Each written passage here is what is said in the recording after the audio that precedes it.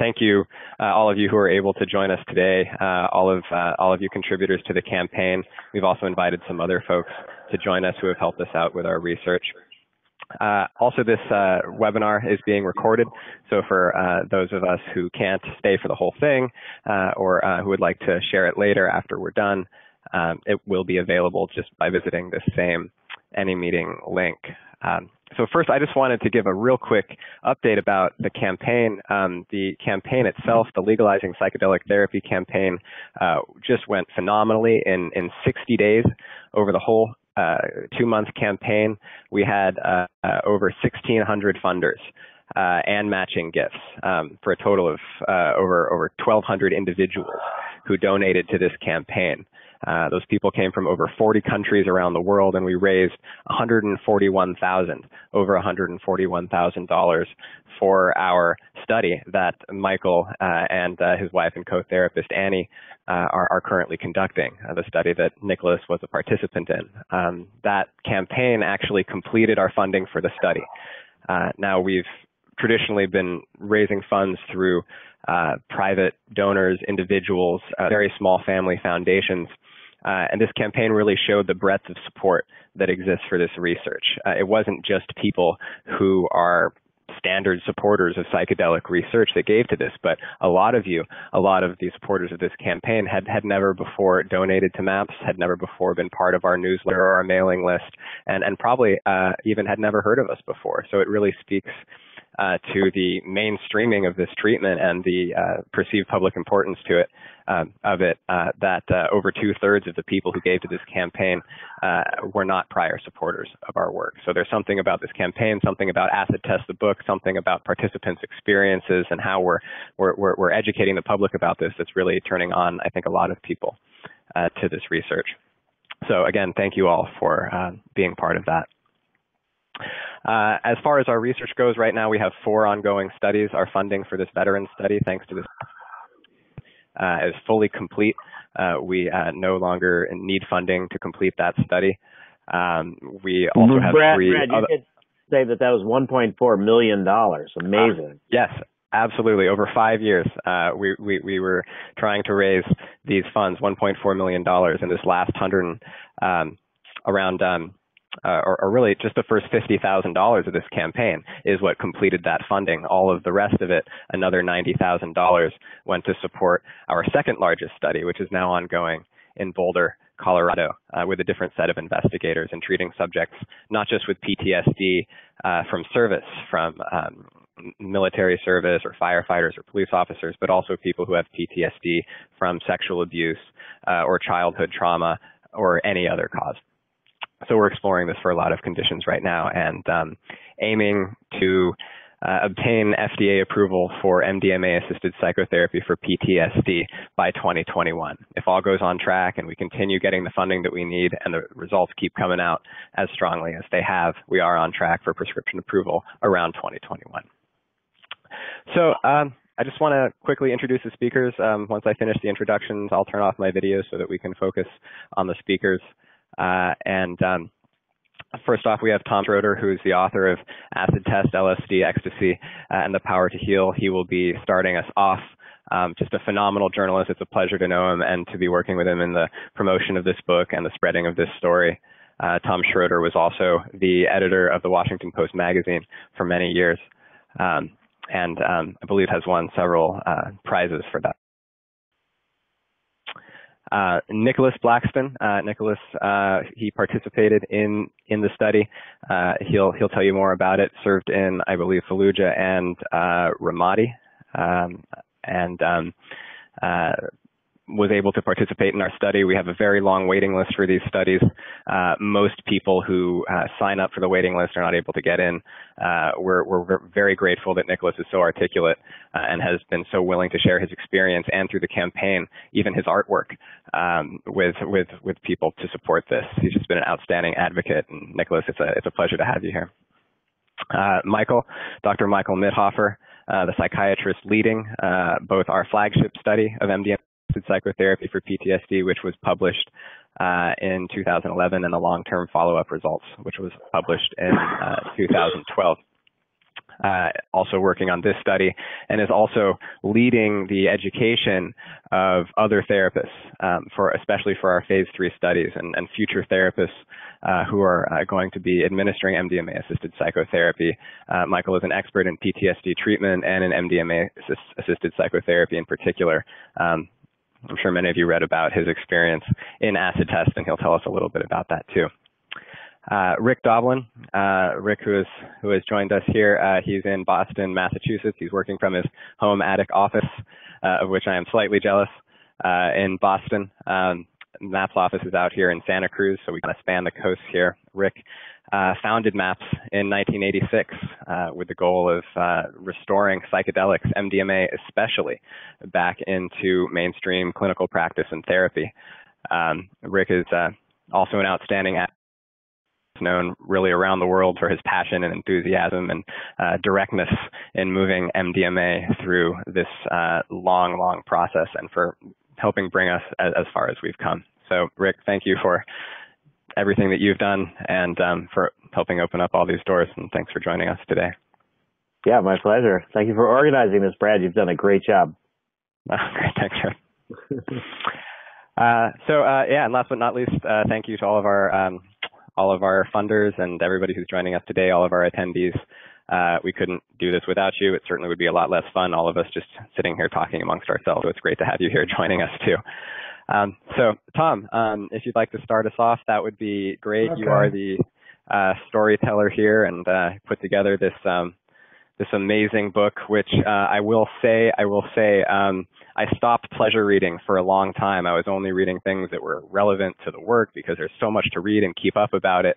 Um, but this got me back into pleasure reading. It was this beautiful transition for me um, in between, you know, the facts of uh, the science and the history and uh, the future and what we're doing here, and then just enjoying a great read and uh, hearing about these stories and feeling personally involved. So. Um, take well, us away. Well, thanks. thanks First of all, it's just how cool it, it is for me to be surrounded by these three men here who are the people who make up the the, the whole text of, of acid test. It's their stories that I tell, and uh, they're individually amazing stories. I, you know, I was lucky to have these subjects that uh, I not only liked but really admired all all three of them. So this is a great honor for me. And I'll just say a little bit about how I came. Um, like many, like millions of people, really, um, I had some illicit experiences with psychedelic drugs as a young man that uh, had a lasting impact on my life and a lasting positive impact. And so as as the uh, you know psychedelics sort of became illegal and became demonized by American culture, uh, I knew that uh, the baby was being thrown out with the bathwater. Uh, you know, ever since my early 20s, and um, and so when I when I became aware that there were people who were actually trying to use science to demonstrate that uh, there was some real value and possibly some some really outstanding healing potential in in using psychedelics in in, in assisting psychotherapy. Uh, I just felt that that was a story I wanted to tell, and and I learned an enormous amount about that I didn't know. I had no understanding uh, until I began researching exactly how far science and medicine had come uh, in the 50s and early 60s in actually using psychedelic uh, therapy to treat a, a, a, wide range of maladies from you know every, everything from from trauma to addiction and alcoholism, even autism in some cases. It it was being used on thousand patients tremendous success. And of course, when um, it, it sort of escaped into the counterculture and it began to freak out the mainstream uh, American authorities who reacted, terribly overreacted to that.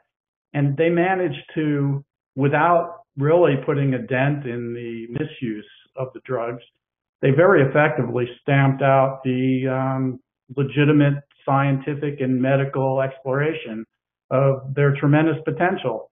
And that's why, um, you know, so I began to want to tell the story of how a very small group of people led by the man you see here on the screen, Rick Doblin, and later uh, assisted and, and uh, furthered by Michael Mithoefer, began to fight this long struggle and in, you know, really 30 years at least, um, to try to undo the damage that was done by this overreaction. And, and, and not only that, but to use uh, the contemporary, the best practices of scientific and medical research to uh, demonstrate and discover just how helpful and uh, the healing potential of these drugs are going to be.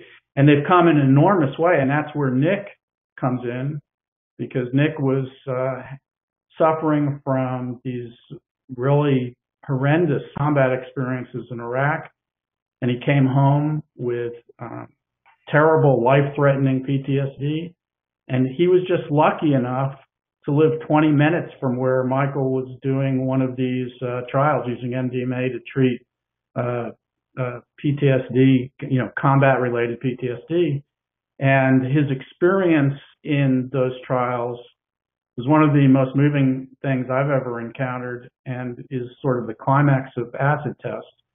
And uh, I think he can speak more about what that was, but what I wanted to do was just to present the global context so that people could understand where the work that's going on now, what it took to get there, what it involved, the, you know, to get a real feeling for the tough conditions that uh, that this kind of therapy appears to be able to really make a, a huge strides in, and and um, so anyway, that's that that was the whole impetus behind acid test, and uh, I'll I'll just pass it to who wants to go next. Rick, you want to you want to go on from here? Uh, I thought we could do Nicholas next, if you're ready, Nicholas. Okay, go ahead, Nick. Sure. Yeah, like um, Tom had said, I was suffering from PTSD uh, pretty bad uh, after getting out of the Marine Corps in 2008. I was down in uh, South Carolina um, going to school. I was there with my uh, wife, uh, Beverly, who lived down there, and um, I was re- pretty much at the end of my rope. I was suffering from suicide, suicidal thoughts, and just from the torment that I was experiencing from uh, PTSD. And uh, I, w- I was very, very fortunate to be able to get in because um, I remember I was calling for quite a few times trying to get in, and uh, luckily I was I was at a Cracker Barrel one time, and I got a phone call from Annie Mithoefer, and it was I felt like if I wasn't ever going to get that call, I might not well, I, I might not be here today. Honestly, I was like I said, I was at the end of my rope, and just to talk about the importance of what the therapy did for me.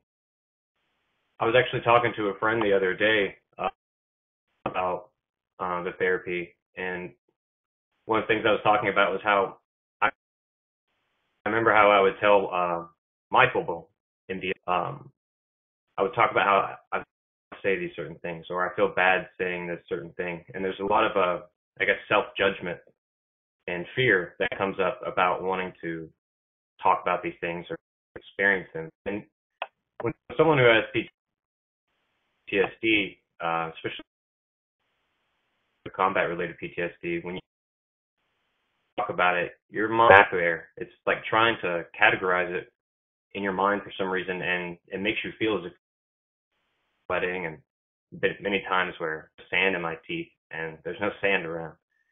And it's um it can be pretty troubling but MDMA seemed to take away that that fear and that judgment upon myself, and I was realized that I was hating and cutting off a part of myself that was uh, that everything that surrounding my PTSD was surrounding that Marine Corps side of me, and I felt like I had to cut it off, and so I had pushed it down uh, quite deep, deeply. And in the therapy, my therapy session, I had a very beautiful experience where I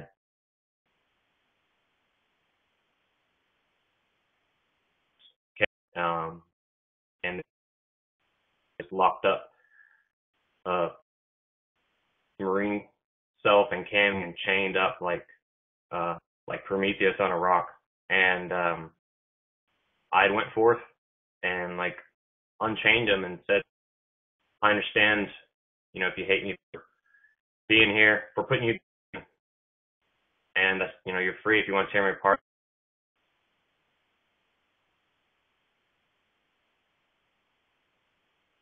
This whole moment thing changed and it was you know it was a visual within but I felt it all over my body and that it was sort of um, finding more about your issues going deeper uh, diving deeper into your mind revelation after and um you know during the therapy I'm laying down on and eye shades covering up and so I'm I'm inside myself listening to music but you would um, I would set on Annie, and that's the uh, the talking therapy part. Seemed to just kind of ramble on and on and on. I was my, mind was making the connections and categorizing everything that it needed to be categorized. And um, you know, Michael and Annie were there for to create that healing, and um, were really help really helpful, especially if there's any time where I seem to be kind of confused or uh, about my thoughts, but turns on a light within it is amazing. Uh, I know many people kind of talked about that before, but it really does seem like you are going around trying to fix things in the dark, and then when the MDMA system, it just it turns on the light. It's not like it makes you see things; it reveals the things that are there, and um, that was really important for me because the part of myself that I was cutting off um, because I realized that was one of the biggest issues why I didn't feel like I was I could fit in society or function, is because I cut off a part of myself and wanted to work with a lot of other things and uh, really lower my um, I guess PTSD symptoms stuff to where I could actually function again, and that's that's a big deal. Um, currently, right now, I'm kind of scatterbrained because any moment my wife could uh, give birth to my baby girl, and um, to really to be able to have that mindset.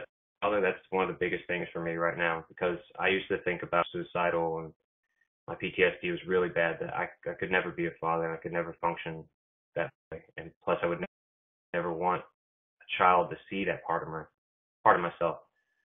But this therapy has revolutionized my life, given me my life back, and it's I really never could have planned the future I had have now um, because I was I was in a very dark. So I'm very happy.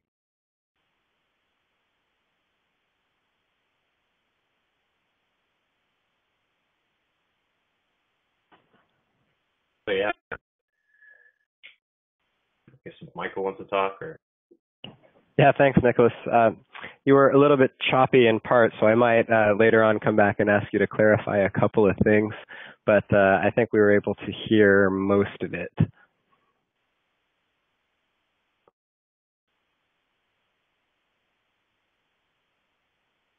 Okay, uh, Michael, do you want to? Having audio issues.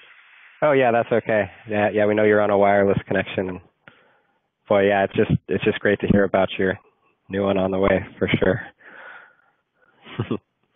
uh, Michael, do you want to pick up? Sure. Yeah. Well, yeah, we're um, very excited, Nick, and can't wait to hear the news about the baby. Um, excited for both of you guys.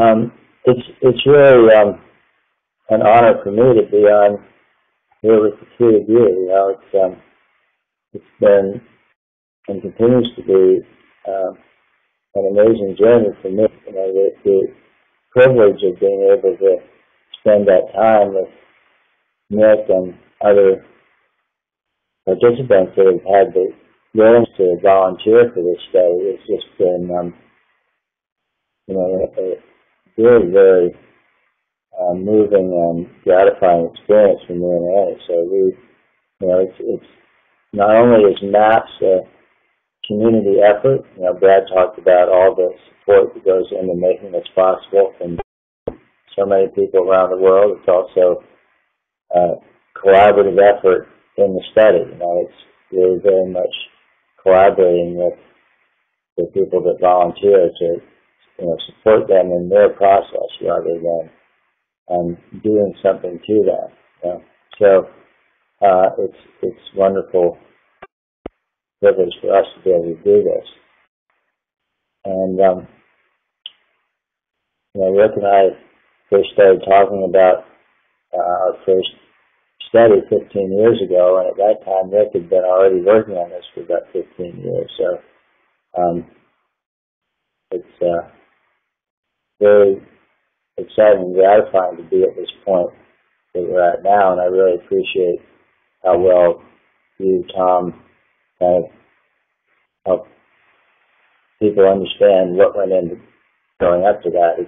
You know, to getting to this point. Um, and, uh, you know, all along I've appreciated how, you know, not only your intelligence and um, being well informed about this, but your sensitivity um, to the people in the study. They've made it a pleasure to work with you on this and to say nothing for, for the fact that you're such a good writer. So um, I'm feeling a lot of appreciation for all this. Um, so I, I um, maybe I, I just um, I think probably most people on the call are very familiar with with what we're been doing, but I have a few slides uh, mainly to kind of um, briefly recap what we saw in the first study and um, give you a little taste of the preliminary data in the current study. So let me see if I can bring the slides up here.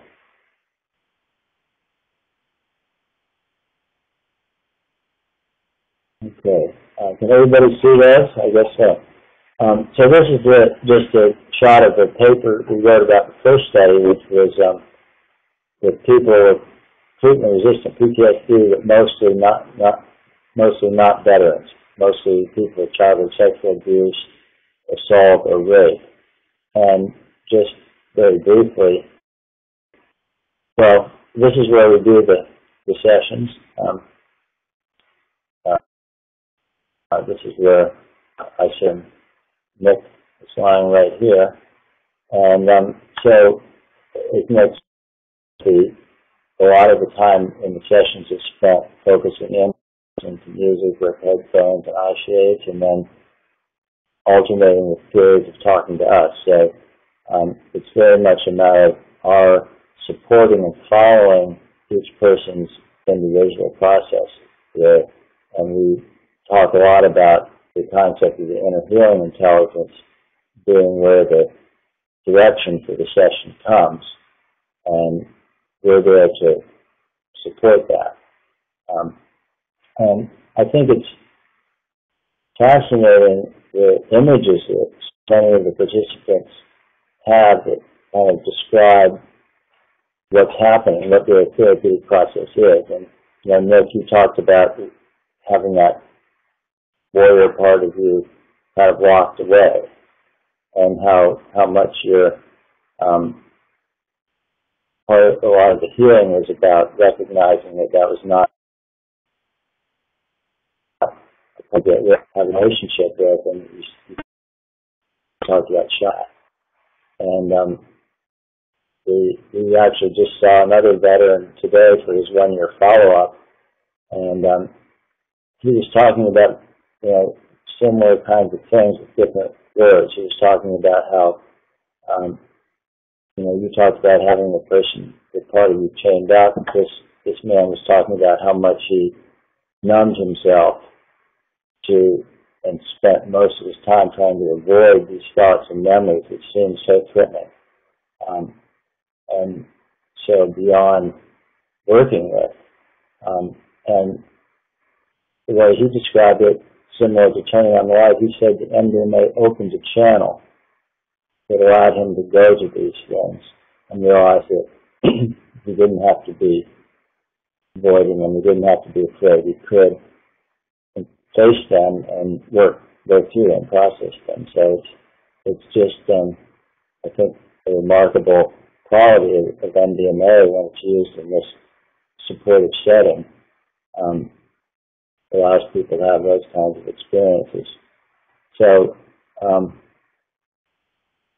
most of you have probably seen this, but for some reason part of the line disappeared. But this is this is just a summary of the, the results. This um, the, the global CAPS score is a measure of PTSD symptoms up here on the vertical axis, and here on the horizontal axis is baseline um, after one session, after two sessions, and two months later.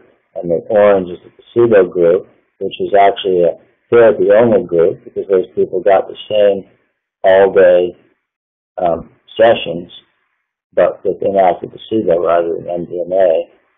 And they actually did have a statistically significant improvement in the symptoms, but they were still quite high. You can see this bar is 50, which is the cutoff for um, study entry, so it means it is still uh, moderately severe or greater PTSD.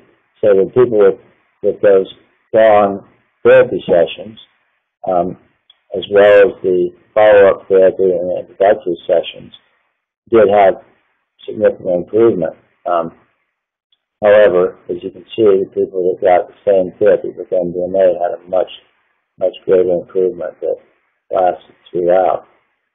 Um, and you know, another point that I, I think is important is um, talking about having MDMA two or three times, um, not a medicine that you have to take every day. So very much the model that gets at the root of the PTSD rather than something you have to take on an ongoing basis to control symptoms. Um, and then the people that got placebo in stage two could cross over and have uh, MDMA sessions. Um, and this was the first study where it was an active placebo. Um, and this is what happened with those people. This was their original baseline. This was their baseline after the two uh, placebo sessions with all the therapy, they still had a high score. And then this is what happened after uh, two MDMA assisted sessions. And then so the people that didn't respond all that much to inactive they responded just as well when they got the MDMA as the other group. Um, and the other point I just wanted to make is that in that study, because of uh, concerns about is a, is a, a problem with memory from taking MDMA, um, which has been um, discussed a lot with recreational use. Um, we did these extensive neuroscience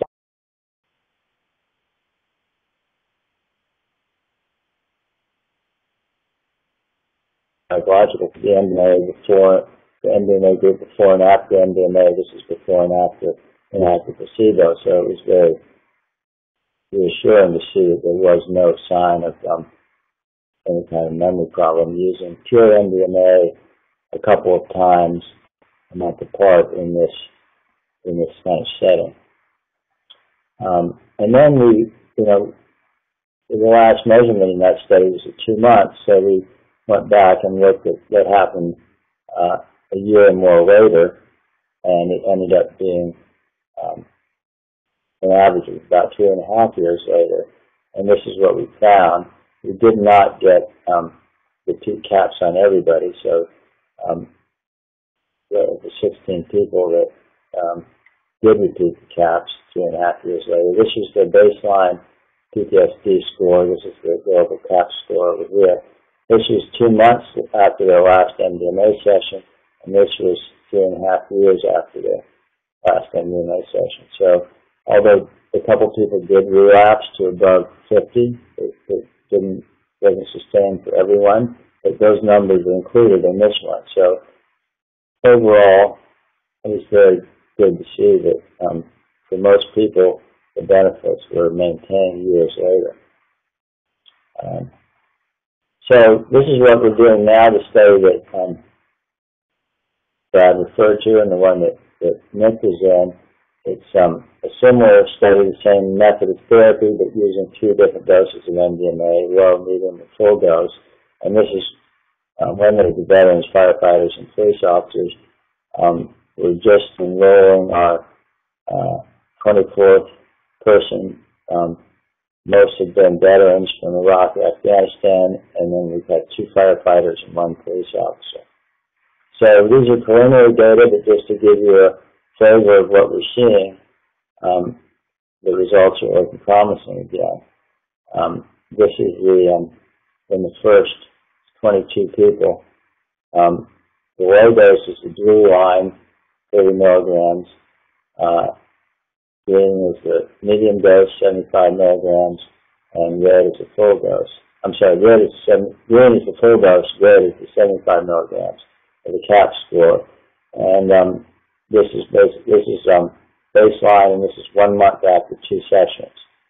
So you can see we're having a very promising drop in the CAPS score um, with both um, full and medium dose, but not not much with um, low dose. Um, and you know, in the first study, people talked a lot about other benefits that they experienced from from the process that went beyond um, the drop in people in study to measuring some more of those like depression inventory um, and um, these levels up in here are quite severe depressive symptoms and uh, you can see that the, in the medium and the full dose uh, people that had a, a very large, quite a large drop in the depressive symptoms, but not much in the medium dose. Um, we also measured, there's a concept of post-traumatic growth, the idea that if people, um, after trauma, if they work through it, it's not that they just get back to where they were, it's that a lot of growth um, can occur along with the healing by facing these things. And this is a well-validated scale called the post-traumatic growth inventory, and you can see that the medium full dose people are reporting a lot of post-traumatic growth, whereas not the dose. Um, the Pittsburgh sleep, sleep quality inventory, sleep is a huge problem with PTSD scale. Unlike the other ones, lower is uh, better. Well, not unlike the other ones, but um, five, below five is ideal sleep. So um, everybody had problems with sleep. Um, they didn't sleep did not return entirely normal, but there was a, a drop, a, a, quite a bit of improvement in the medium and full dose, but uh, not in the low dose. Actually got worse it's a small number, so we're not sure what that means. But um, and the and the numbers are small here because we didn't start using this in the beginning. But uh, it's good to see evidence of the sleep getting better because so many people report that. We've had you know people that were using lots of medicine to sleep before the study and still weren't sleeping that well, and at the end they uh, often report they're sleeping well without using anything. Okay, I guess that's it. So that's that's what we've been doing, um, as well as the training that Brad mentioned, and we have a protocol um, for we, we have a, a, training program that involves um, didactic things and discussing videos uh, with people that are going to work in clinical trials using this method. Um, and then if they've gone through our training program, if the therapist is going to work on a clinical trial with MDMA, so if the therapist wants to have their own MDMA session with us, we have an open protocol, uh, and DEA and IRB approved protocol to give them their own session. And we've had eight therapists so far come and do that. So that's the important thing too, because we think that um, having your own experience with MDMA in a therapeutic setting is very valuable for therapists um, to understand and be able to trust what's going on for people. It's not required. We would never want to require anybody to take anything, but um, so far, they, mostly therapists working on clinical trials are interested in that. So that's kind of an introduction to where we are now. Uh, thanks, Michael. Yeah. It's really, uh, uh, this is Brad again here. Uh, it's really exciting to see those preliminary results for that study. Just the, the, the, that 83% success rate from the previous study and then the long-term benefits that, that, that you showed. Um, that's really exciting. And a lot of people asked, hey, is that going to continue? Uh, are we going to continue to see those results? Um, and um, it, it looks pretty exciting. It's still working. yeah, of course. Uh, Rick, your turn. Yeah. Um, I, I, guess I, would like to just put a, sorry, I'm a little recovering. Um, just put a point about the results for this study, how interesting and um, important it is, because the drugs that have been approved by um, the FDA for post-traumatic stress disorder, um, Zoloft and Paxil, um, they showed efficacy to some minor extent in women, but they tended not to work in men, and they didn't work in combat-related PTSD. So what we're we were a little bit uncertain as far as whether the results that we had from the initial study in uh, mostly women survivors of childhood sexual abuse and adult rape and assault, whether the results would continue with what seems to be um, the most difficult kind of PTSD to help with, uh, combat related PTSD in men. And so um, it, it's particularly gratifying to see that it, it is continuing to work. And that's led us to um, conclude that when we move from these small pilot studies into our phase three um, definitive studies that we need to uh, do to prove safety and efficacy to get permission for marketing, that we're going to open them up to people with PTSD from any cause and male or female. Um, but I, would like to really thank Tom for uh, enhancing, uh, you know, what we're doing in terms of our education, but also, you know, Tom and I, for those of you who've read Acid Test, have known each other since 1975. And at really very pivotal moments, Tom's been involved in um, sort of initially uh, opening me up to hey, what Rick, it means. Rick, I'm gonna I'm gonna go ahead and show some of the slides as you're talking here. Oh, oh, good. Okay. Okay. Um, yeah. So, so Tom and I met in 1975 for the first uh, media attention that I'd uh, ever got, and I was. Um, I think it's important to, to say that I was a draft resistor. This is Tom on the beach. And, um, you know, and, and yeah, so this is when I'm 21 years old, and I um, lived in Sarasota, Florida, and was um, a shy kind of guy, and I, I was very um, not very confident in a lot of ways, and also I was realizing that I had been programmed by my culture in all sorts of different ways and by my parents. Um, and I was trying to find um, a way to get back to nature, you could say, and get back to um, a certain kind of uh, purity, you know, which I thought then could be um, brought back into my life and into my political work because I, I had at this point, um, you know, when I was 18, I, I did decide that I would be a draft resistor for Vietnam and that I would um, be willing to go to jail to not run to Canada.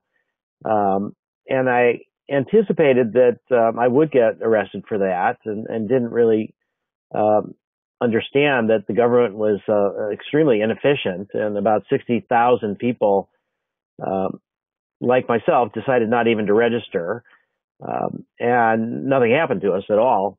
Um, but I started, and that, that's why to me now the work with Nicholas and to others who are veterans is so crucially important because I felt like in the 60s with the turmoil over the Vietnam War that there was a bifurcation of our culture and we really split apart and um, those people that were really interested in um, psychedelics and drugs were you know characterized as being the um, you know the counterculture and criminals and um, sort of cast out.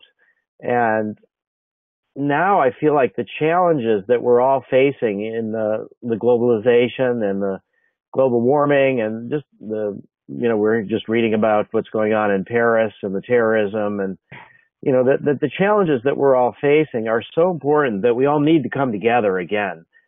And that's where, for me, the work with um, the veterans is, is part of this idea that our culture, that the psychedelic counterculture, that we're no longer counterculture and that together we can really work on the, the trauma of war and try to find a better way to go forward. And so w- when I was 21, this is a picture of uh, the um, cover of the article that Tom wrote. Um, and this was about um, building a house. I inherited some money from my grandfather and felt that I could, I would sort of build a house and that that would give me this sense of uh, what it means to be a home. That I had done a whole lot of LSD and dropped out of college and was confused and felt like I, I just needed to, I couldn't find that purity that I was sort of looking for by just repeated psychedelic experiences that I, I finally recognized you have to, um, you can't accelerate it too much. You have to actually integrate it and build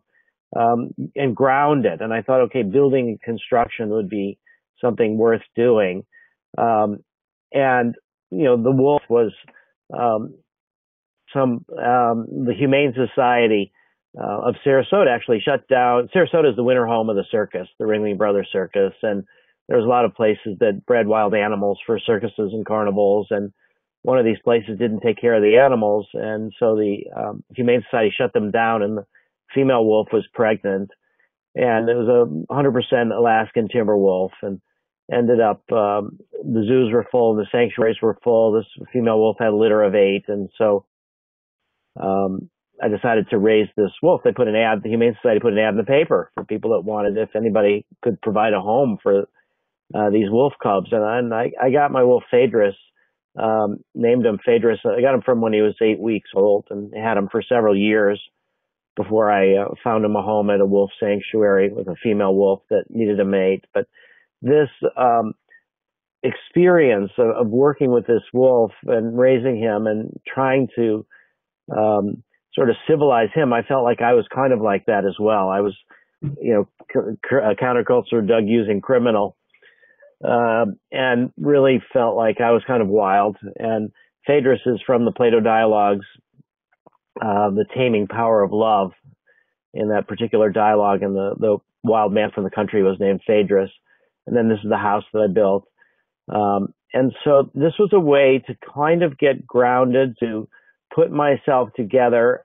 I had decided at age 18 that I really would devote myself to psychedelics. So this was um, 1972 when I felt like I would try to bring back psychedelic research. I, I woke up to it just as it was all shut down and was um, thinking that there's historical use of psychedelics for thousands of years. It actually, um, uh, the Western culture, the Greeks had the Eleusinian mysteries that ran for 2,000 years, the longest running mystery ceremonies ever, that had a psychedelic as part of it uh, called Kykeon, and that these ceremonies were wiped out by the Catholic Church in 396.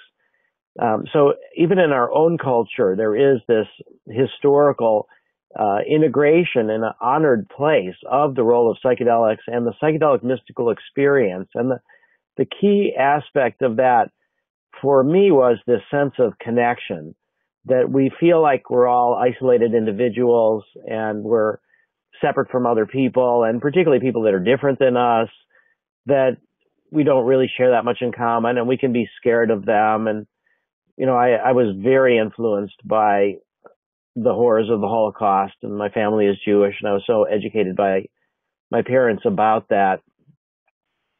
And and so as I was trying to understand what to do and then see the war in Vietnam that my own culture was um, involved in, um, and you know later on I uh, got to know Daniel Ellsberg, um, and, and, he said something that has stuck with me um, about his release of the Pentagon Papers, uh, which he actually felt guilty that he didn't release them beforehand because he knew about the lies to the American public um, well beforehand. But w- what he said was for him, the transformation was um, that he initially started thinking that, um, you know, America was on the wrong side of the war in Vietnam. Um, and then he started realizing that America was the wrong side, that we were this imperialistic, warmongering, uh, culture to some extent, to a significant extent, and that um, so trying to understand these all are you know the way in which I had sort of absorbed those things, uh, the American exceptionalism, and um, you know so I went through this period of um, seeing that psychedelics could be an antidote to these larger cultural phenomena by helping us understand our common connection with each other, with the nature, with the animals, with the plants, with the environment, um, and and particularly with people that we were scared of that would seem different than us. That actually we have way more in common than than not. and and yet, how do we integrate this? And so for me, building the house, living with this wolf, and trying to get capable of working inside society to um, bring these experiences back and, and, in a way to bring myself back from this um, what I felt to be a kind of a hunted underground uh, position, um, and to bring psychedelics back and to bring their their healing potential, their spiritual potential back. And so I was so fortunate that um, you know these insights that I had at 18. I've recently turned 61, and they still make sense to me um, more than anything else that I could have ever done. Um, and at the same time, I feel like the work that we've done with this study, the work that Tom has done with the publication of his book, that the culture really is changing and growing in a way that um, I don't know that I would have ever predicted. I felt like when I decided to work in this area that it was important to do regardless of whether it would ever succeed.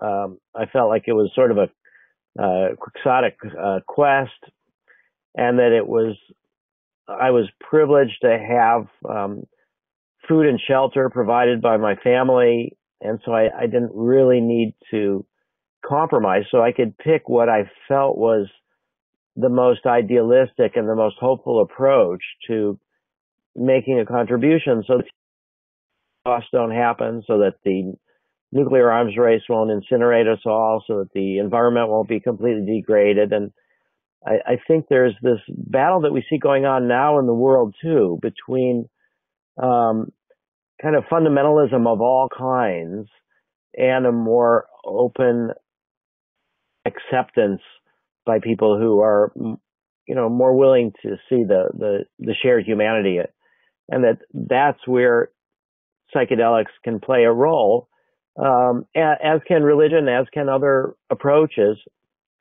But for many people, and for me at least, it really took psychedelics. And that then then we need to look at how do we bring um, this potential uh, back to our culture and strategically working to help people that are suffering, to trying to make um, psychedelics into FDA approved prescription medicines that was an open door. Um, not that it was really easy. And in fact, it had been blocked for decades, multiple decades, and we've had to struggle for 30 years to get to the point where we're at now. And there's still federal obstruction of medical marijuana research for political reasons. Trying to make marijuana into a medicine is harder than trying to work with MDMA or LSD or heroin or cocaine or anything. So there's a long way to go, but that there's a growing disenchantment with the whole concept of mass incarceration and prohibition. And there's uh, more and more people, I think, are willing to wrestle with um, our own inner demons as, as, and not so much always project them outward. And Stan Grof, who's the uh, sort of leading expert in psychedelic psychotherapy and one of the founders of transpersonal psychology, has talked about how um, he's described LSD, and he said it's a non-specific amplifier of the unconscious, uh, much like uh, dreams amplifies the unconscious. And so I, I think of psychedelics as um, something that brings out what's within. It doesn't. They don't create uh, these experiences so much as reveal them and bring them, bring our focused attention to the currents that are going on in our minds at different layers of depth all the time. There, there's something um, very holy and precious about that process, and I think that that's for um, for me the the larger vision of what we're really trying to accomplish is this mainstreaming of um, access to the unconscious and access to these spiritual senses and, and access to healing into our culture in a way that I think fundamentally um, challenges the idea that many people had, I think, during the 60s, that these drugs were going to forever be marginalized and um, criminalized, and that they caused people to challenge the status quo, and that the status quo would always um, resist that and that there would be this uh, perpetual um, inherent kind of struggle uh, between those people that were using these substances and that were breaking down conventional ways of thinking and the the um, the status quo. And and I don't really think that's true. I, I really think that um, I see now more the image for me is more about being a scout for the culture. That we're looking at things um, where the culture might go, where the, the over the horizon, and we're uh, coming uh, and finding new things and then bringing them back, and that um, that's part of innovation and creativity. Is in some ways the hallmark of you know America's competitive advantage is our ability to um, challenge and de- develop new things. Um, even this uh, conversation that we're having right now on this using this technology is part of this kind of innovative spirit, and and I think that um, we can have that sort of innovative spirit with psychedelics mainstreamed into our culture and not have it be seen as um, something to be feared and something uh, that's um, destructive. And and I think the again the therapeutic use is really the the way to most effectively address the concerns that uh, our culture has, and also to say that um, for me and, and for um, the process that we're involved in, really it's about science. And that's the closest I would say that many of us have to a, a really devout religion. Um, that there's something about the scientific process that's um, that is also holy, trying to find out what's really true, challenging our preconceptions, and that we're engaged in the scientific process with our culture and focused on really healing people that are are deeply suffering. And so I think in our particular um, MAPS related research with um, MDMA, uh, by focusing on people who have uh, war related PTSD, um, sexual abuse, you know, we're we're trying to really bring a healthier culture into being, and at, at the same time we're engaging with those kind of um, issues that right now the media and the public communications of our culture is also intensely interested in. So we have this ability to, um, you know, do a, a, small study with 24 people and have incredible distribution of information about it throughout the world uh, because of the efforts of, of Tom and other media that we're able to magnify in a way the um, the hope that we're producing and the healings that we're producing because again our culture is really interested in science. It's, really wrestling with the um, negative consequences of the wars in Iraq and Afghanistan and what we can do to um, you know pay our debt to those people that have fought on our behalf and and to others with PTSD and so MAPS is branching out in some ways because we're trying to become experts on PTSD. And so we've just recently received a $2 million grant from the state of Colorado for a study of marijuana use for post-traumatic stress disorder. And a lot of veterans, it would also be in veterans. Um, a lot of veterans are using marijuana for PTSD.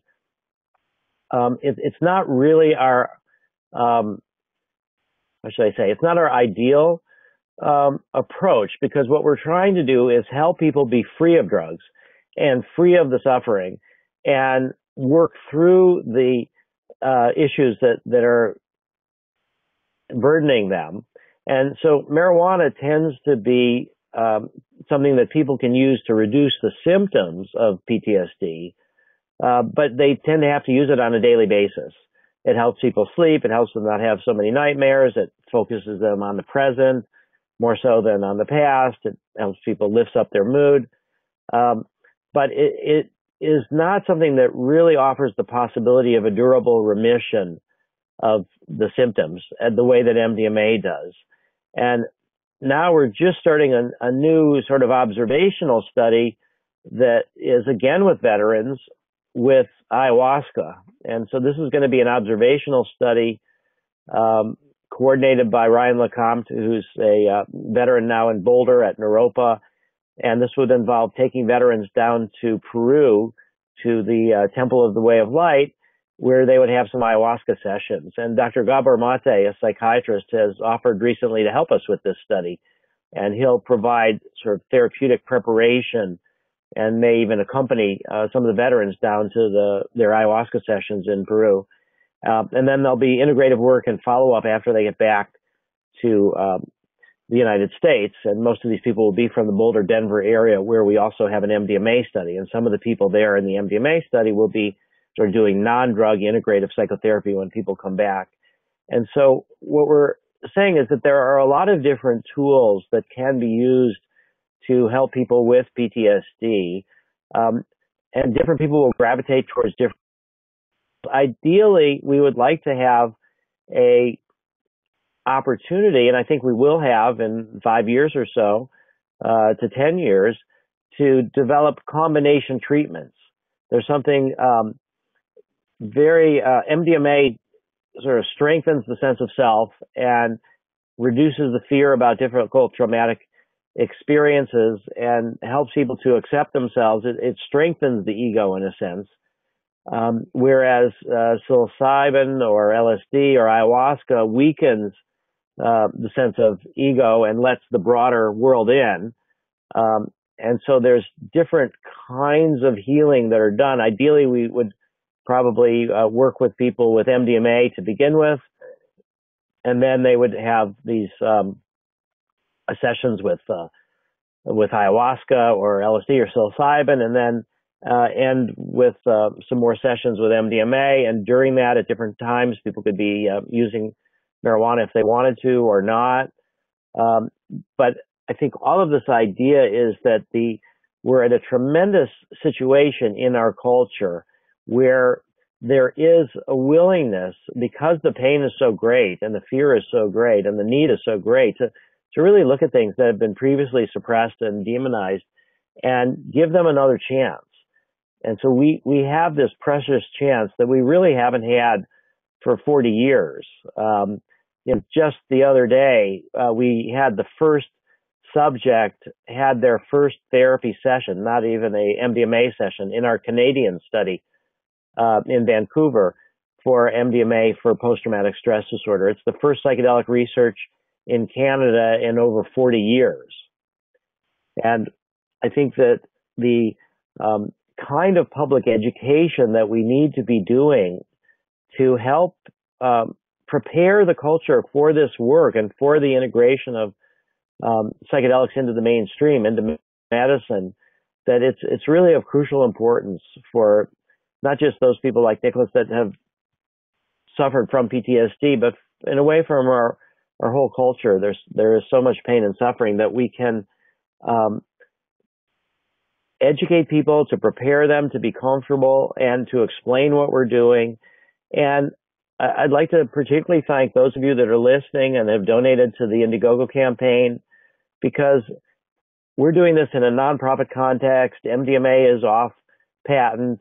Uh, we've actually hired patent attorneys to develop an anti-patent strategy. So none of the uses of MDMA could be uh, patented. And so at least up to this point, um, we've not got any government funding uh, other than this this two million dollar grant from the state of Colorado for marijuana, which is incredible. It's the first time, and um, MAPS again was started in 1986, and so we're uh, 29 years almost uh, since we started. This is our first government grant. Maybe we'll get some government grants for the MDMA. Currently, we're going to be giving about $800,000 um, uh, to the VA to do some collaborative studies that uh, Dr. Richard Rockefeller and Senator Rockefeller, um, who's no longer a senator, and, and sadly Richard, who's no longer alive, who died in a tragic plane crash, that um, they've helped us open these doors with the military, and that we are, you know, donating money to to make these studies happen in the hopes that that will inspire the military and the VA to um, put their own money into this, but you know, really this wouldn't be possible without those people that have donated to the Indiegogo and our other donors. Um, and, and, we do now have this longer term possibility of making MDMA into a medicine. And then for a period of time, um, we could sell it as a medicine. And the FDA has a program called data exclusivity, which is means that um, we could be no one can use our data to sell it as a generic drug for five years.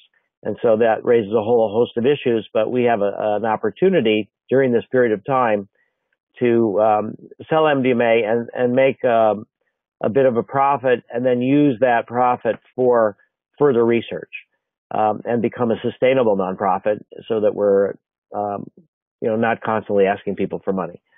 And I think that's um, a new vision that I didn't realize until recently was possible. Um, and so I, I, really would just like to thank everybody who's helped us get to this point. Um, we are going to be needing to raise 15 million or more to make it in MDMA into a medicine for PTSD. Um, I mean, just to give you an example, um, the VA spent about uh, more than five and a half billion dollars last year in disability payments to um, veterans with PTSD. Five and a half billion dollars in one year, and that was a, a low number for what they actually spent. And so for us to spend 15 million or need to raise 15 million, and not only that, we don't need to raise it right away. It's over, you know, five years or so, four or five years. So I think we, we have a challenge that we can reasonably meet.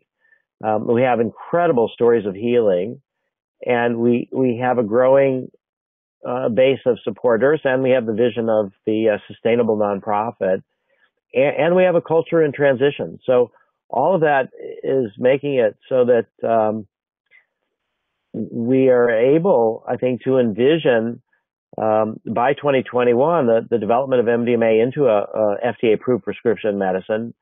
Um, we do have studies right now in uh, at UCLA, Harbor UCLA, with MDMA for autistic adults with social anxiety. We're getting really good results with that study, and we're starting another study in San Anselmo California for people with life-threatening illnesses who are anxious about dying, and that will also involve MDMA. And there's various um, people we've talked to who are looking at couples therapy for MDMA. So I think the, the potential for healing is enormous. The um, potential for cultural change is enormous. Uh, just uh, again, th- thank you, those of you listening, and, and Tom and Nicholas for having the courage to, uh, you know, expose yourself in a way to uh, tell your story. And uh, you know, for me, um, it was great to read the book because I learned all sorts of things about Michael that I never knew, and uh, Michael learned all sorts about me that he never knew. And um, I, I will say, my daughter um, looked at the acid test, and I asked her what she thought about it. She's a sophomore in high school, and um, just yesterday, actually, she told me that a friend of hers in one of her classes uh, was is a guy who was bugging her. He wants to be an intern for MAPS He's a sophomore in high school. He wants to be an intern in MAPS, and um, and wants to get to know me through my daughter. But I asked my daughter what she thought of acid test, and um, she said she really liked it, but that she only read the chapters that said Rick. so she doesn't really know that. she doesn't really know about Nicholas or Michael or all the other things that, that Tom wrote. But um, you know, I think it's it's such a pleasure to um, to see this work and to realize that there, there are these healing mechanisms in our in, in our own psyches, in our um, and in our culture. I think moving towards a, a, better space. And thank you, particularly Tom, for making all this uh, possible in this way. Well, you're giving me way too much credit. And I'd like to just say that if you want to know what a, a real visionary looks like, you've just seen it. I mean, here's a man who, as a child, decided that why did the world have to be as frightening and as angry as it was? And there had to be some way that possibly that could change. And then as a, as a teenager, he discovered something that he thought maybe could make that change, which was this uh, experience that people got from psychedelic drugs. And, you know, just to be clear, it was never the drug itself. It was always the experience that it brought. Um, and and he held on to that vision when everybody thought he was nuts, frankly. um, uh, you know, you still have people even within the psychedelic community who who think that he's too outspoken or too honest, um, or you know, too extreme in his positions. And uh, as, as he as he recounted his story, you can see that he just he was only looking at that at you know at the end result all along, and that's that's what a visionary looks like. It's it's uh, really something. And and then Michael, in you know, and I really so enjoyed his story.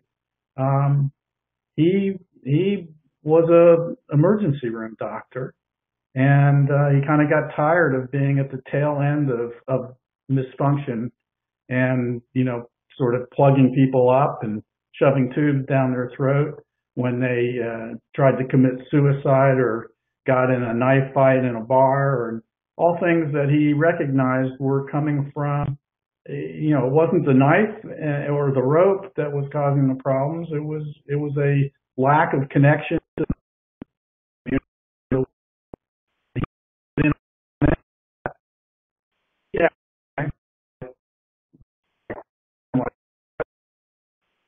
um, psychedelic drugs uh, that showed him that there was some real power there, and and he became through Stan Grof interested in the idea that it's really the altered state that uh, presents an opportunity for insight and healing. And uh, he did things like he went down to Peru and and you know ate little tiny bony fish for three weeks and lived in a in a you know under a little uh, palm thatched roof with spiders dropping down on him, uh, and had ayahuasca ceremonies to experiencing that.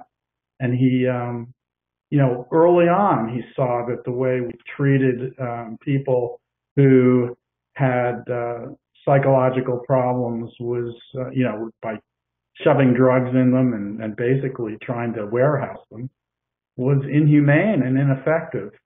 And uh, and so he just decided that he was going to, you know, do something that everybody said can't be done, which is to do serious scientific study of the possible healing power. So, you know, the, these are these are people to be inspired by, and uh, you know, I'm extremely grateful to get to know them. And and then and you know, and and I want to say this about Nick too is that he underwent horrible experiences you know, and that made him think the worst of himself. And he then underwent a therapy in which, uh, being as vulnerable as he was, he put himself in a vulnerable position by doing these psychoactive drugs in a situation where he was revealing his innermost secrets. And then on top of all that, he he allowed me to he allowed me to um, to watch all that on on videotape and to, and then to discuss it with him. And he never withheld one fact or was less than 100% honest. And uh, you know it's that kind of courage all around that has really made this miraculous thing happen which is that we really are on the verge of of you know as as Rick said coming back from a point of no return where we thought you know, these drugs are going to be forever demonized, you know, heaped in with cocaine and heroin is this sort of terribly destructive force when really the opposite was true. And it was a real Alice in Wonderland situation. And the frustrating thing to me as I, as I saw this come together was that there's still, it's still difficult. I mean, you know, Rick was saying early on that this review in Lancet of the book was such a, an important thing because allowed people to maybe take some of the stigma off actually being interested yeah. in this topic. And we're way beyond the point where there should be any stigma. I mean, it's just absurd. And yet, you know, when I was dealing with, uh, I was on uh, NPR on the Diane Rehm show, and I was trying to get somebody from the Pentagon to come and, and talk about their perspective on the possible use of this to treat the half a million veterans who are coming home from Iraq and Afghanistan with severe and very difficult to treat PTSD, which is going to cost us, the taxpayers, you know, in the neighborhood of a trillion dollars over the next 30 years or so. And, and yet the Department of Defense, which has, you know, enough money in the cushions of its sofas to fund this research, hasn't contributed a dime. And in fact, when I asked um, the brass at the Pentagon for somebody to come on. I saw an internal uh, memo between one to the other saying, "Oh no, this is too dangerous. It's too dangerous to go talk about that. Too da-, and what they meant was too dangerous to their career. When the people that are stand to be helped by this are people who who withstood real danger, like Nick did, of of you know sitting up in the turret of a Humvee behind a 50 caliber machine gun while, you know, the whole world was exploding around him and his, and his friends and colleagues were shot down and where he was put in the position where he had to aim a 50 caliber machine gun at teenagers who were firing at him with AK-47s. And, and they're talking about it's too dangerous to go on the Diane Rehm show and discuss the possibility that this would be healing. It was sickening, really.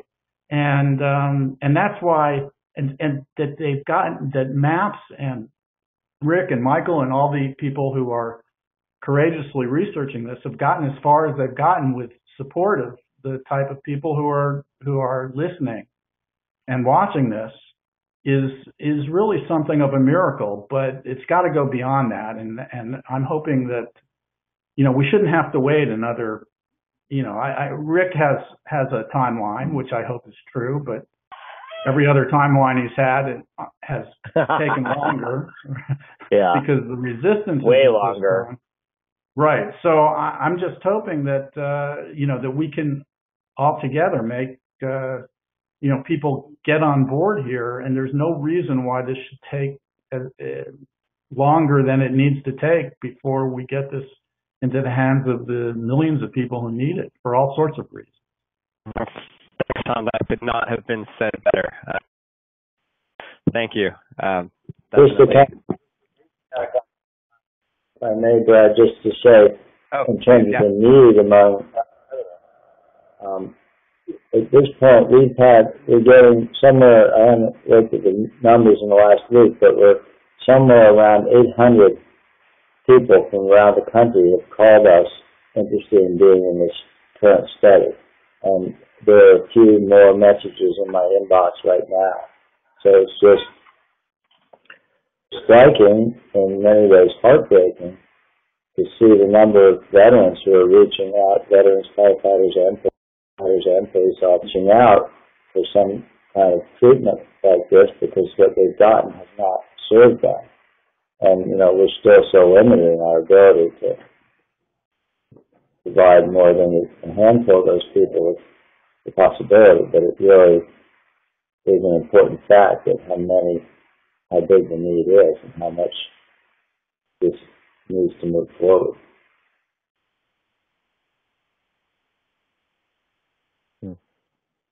Right, and I know that Nick is, uh, you know, has had to deal with um, friends and comrades in arms who are suffering still, and who are asking him, you know, how, how can I get the kind of help you got? And it, you know, it really is heartbreaking.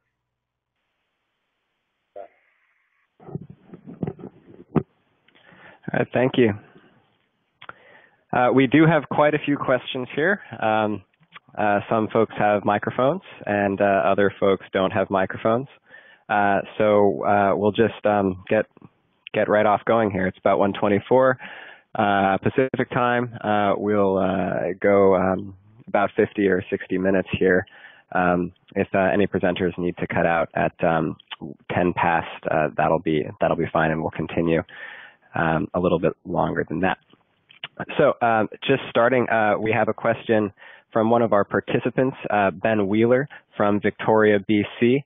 Uh, he has a, a, a, question for Rick and Michael, um, although perhaps um, Tom and uh, Nick, you might um, want to chime in as well. So I'm going to activate your mic now, Ben. And Ben, you're ready to go.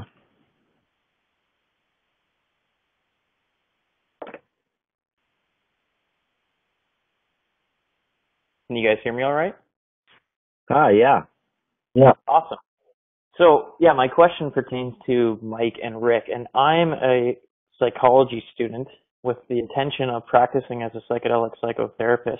Hopefully by the 2021 timeline, which I'll have graduated with my master's, so I can practice as a psychotherapist. But I'm wondering, what are the credentials going to be for someone to practice as a psychotherapist with uh, with MDMA? Hmm. Uh, maybe I'll, I'll, Mike, I guess I, I, can say just a very little bit, and then Michael could be more uh, specific. Um, one of the things that we, um, I think, it makes our work potentially so effective is that we use male-female co-therapist teams, and I, I, do think that, that there's a, a, couple different reasons for that. One of it is that um, there's eight hour sessions and it's important to have somebody in the room all the time. So somebody has to um, take a break or get something to eat or go to the bathroom. There's always somebody there, but, but more that people often get into, um, childhood issues and to have a well functioning kind of mother, father, male, female team is, is really helpful. Also for women survivors of childhood sexual abuse, just having a male therapist um, can be anxiety provoking, and so having a woman in the room there, and um, and and I think that this um, I, I, particularly um, uh, like this idea, and, and so it, it's um, it will be the case that one of these two people needs to be a licensed therapist, but the other can be a student that doesn't have a license, or there's a nurse or a social worker or you know, somebody that's um, differently credentialed. So that I think there's a lot of opportunities. Uh, you know, myself, my my long term career goal is to become a legal therapist. And at this point, the idea of uh, you know, six years from now, uh, when I'm 67, starting another PhD program or master's program, even, um, a little daunting. And so I think this idea that I'll be a junior therapist with somebody else who is a, um, you know, would be a woman who's got a license to, to practice therapy or psychiatry. Um, so I, I think that there's opportunities for all sorts of people in the healing professions to participate either in a secondary or a primary role um, in uh, becoming psychedelic psychotherapist. And, and I guess I should say too this, that there's more of equality when there's two people there, even though one person has the license, the other, you know, both people really are interacting. um, as well with with the uh, and doing the therapy. So um, we're we're we are trying to figure out our training programs and and what combination of prerequisites and then training um, we will provide. And the um, you know remarkable thing Michael mentioned before is that the FDA has given us permission to uh, conduct a protocol where we can actually give MDMA to therapists, uh, which is astonishing as part of their training. Um, and our argument was that um, if you want to study yoga, you go to somebody that practices yoga. If you want to study meditation, you, you go to somebody that meditates. But how can we uh, train people uh, do psychedelic psychotherapy where we think they'd be more effective if they knew what the drug did um, because it's illegal. And the only way we could do that in a protocol, and the FDA gave us permission for that. So that's part of our training program. Um, but I think maybe Michael could talk more. We just had a uh, five day training program in the United Kingdom with people from about six different countries, 25 people, um, mostly watching videotapes of therapy sessions and talking about our treatment manual and our adherence criteria. Um, but I think Michael, if you could really describe w- w- maybe what you think the prerequisites should be and and how we're going to run the training program. Yeah, well, I, I think you know one fact is that this is of course not the only way to do it, and ultimately, I'm sure the ways it's used and whether it's a male, male female team or whether it can be used in groups and that kind of things. That's all going to unfold over time, but for the foreseeable future, certainly in, in 2021, or perhaps even before, if we get compassionate use, it'll be necessary to use this method, which is not the only method, but it seems to be a good one. Um, so we're, we've done five or six trainings now, and we're developing our training program further um, to include probably a five or six day training um, with some online stuff before, and then some follow up afterwards with um, feedback, uh, supervision, and perhaps a second phase of the training. So that's going to be uh, expanding somewhat. You know, I think any kind of therapy license is adequate. There has to be at any site, there has to be a physician, uh, an MD or DO involved. In, if it's a psychiatrist, in, in my, as in my case, then you can do the therapy and the medicines, but it's not necessary. Um, in Boulder, they're using different teams, and there's only one physician, so um, a physician to be responsible for giving the MDMA and being on call for medical problems. But then, um, I think you know, either a PhD or a master's degree uh, as a licensed therapist is going to be kind of a basic requirement for at least one of the people, Rick says. I think, um, you know, as much experience working with trauma as possible ahead of time with, you know, non-MDMA kind of trauma I think is very valuable I think the whole type of breathwork training that Stan Grof developed with his wife Christina, who's now, um, you may know that, you know, there's a very active training that goes on with that that can be done in modules in a lot of different locations. So I think, in my mind, that's one of the best preparations. Um, I've found internal family systems therapy training to be very helpful.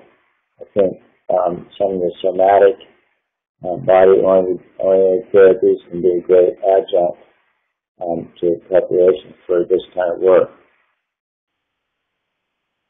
Does that pretty much answer your question?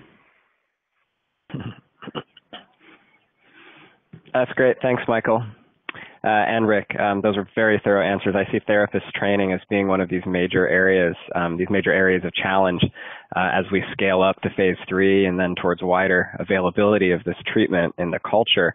Uh, it's that sheer number of, of, talented and trained therapists that we're going to need to actually deliver that treatment. Um, it's um, really a lot of work that we have going into that, and thank you both.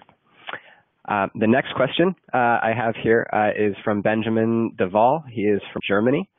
Uh, he'd like to pose this question to all four of the presenters, um, as uh, it's probably a question that would benefit from some diverse uh, answers. So in just a moment, I will promote Benjamin to a presenter, and he'll be able to unmute his mic and ask ask his question.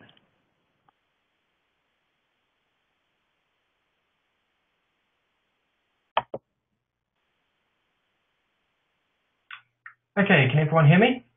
Hi, Benjamin. Yeah. Actually, I, it looks like I accidentally turned my camera on as well, but that's okay. Um, oh, that's great. so, um, basically, I'd just like to ask about uh, general viewpoints on the idea of uh, the um, therapeutic use of psychedelics outside of a formalized therapeutic environment. Um, I know it's kind of a common um, idea amongst uh, a lot of the newer people interested in the uh, psychedelic world. Um, and just to give a very, very brief anecdote, um, my wife is uh, mid 30s like me, um, and she never really used anything before. She didn't even drink alcohol very much. I think she's been drunk once in her life when she was a teenager. Um, but we uh, have two young children, and of course, there's a lot of stress in our life. And uh, I suggested to her maybe the idea of using um, LSD and MDMA. And now she's had one experience with each of those, and essentially, with it, to cut a long story short, it has helped immensely, and uh, our lives are a thousand times better for it.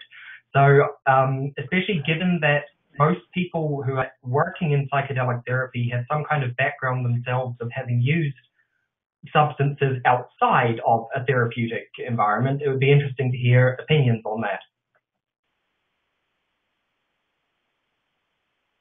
Hmm. Um, well, maybe I'll start. It was great to be able to see you too. This is incredible technology. Um, you will raise a question. I, I think that of um, all the psychedelics, MDMA is the most inherently therapeutic.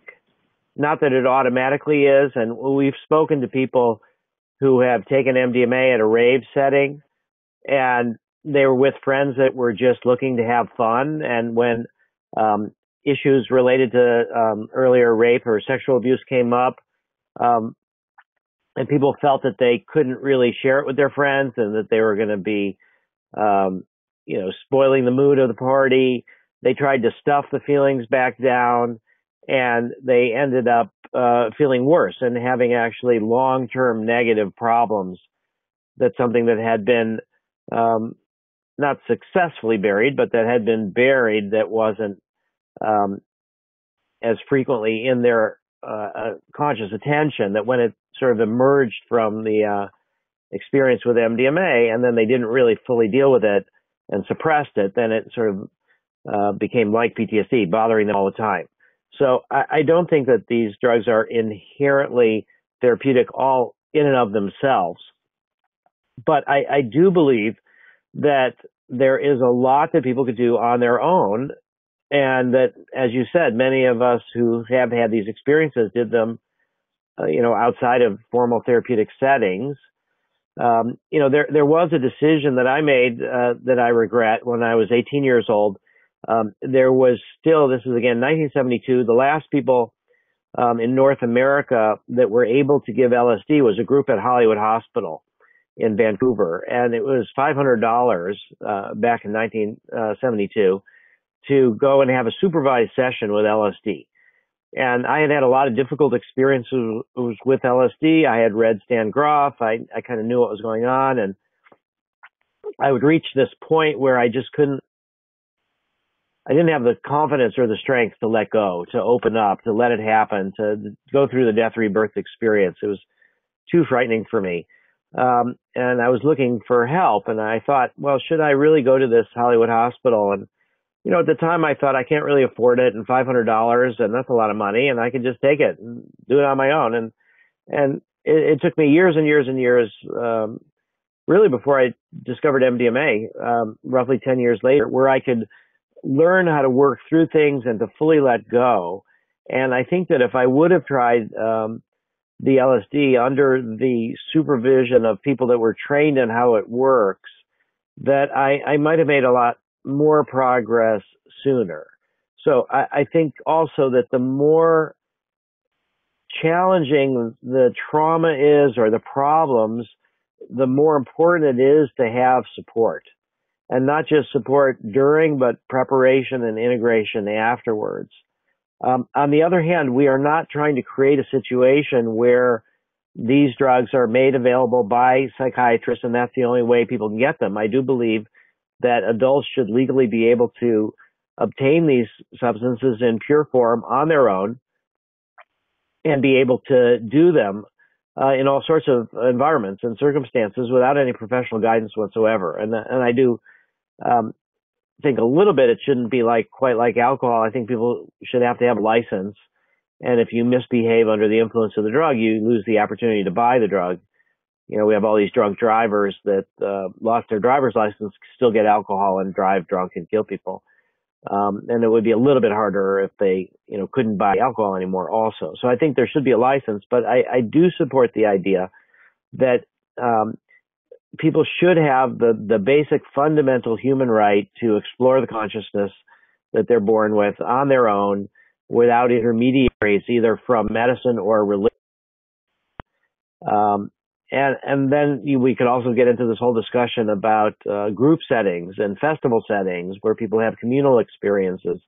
So I, I think there's tremendous healing potential, but there's also risks, and and people have to acknowledge that, and the the risks are dramatically reduced when people take these substances under supervision with support, at least the first times, to understand what they are.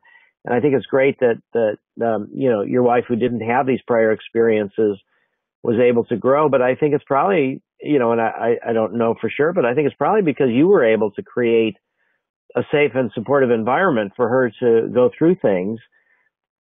And if she didn't have you to accompany her, just doing them on her own might have been a lot more difficult and a lot more problematic. Um, and, and, so I, I, think that for the work that we're doing, um, we really do feel like um, the supervision, the support of the male female team is very important.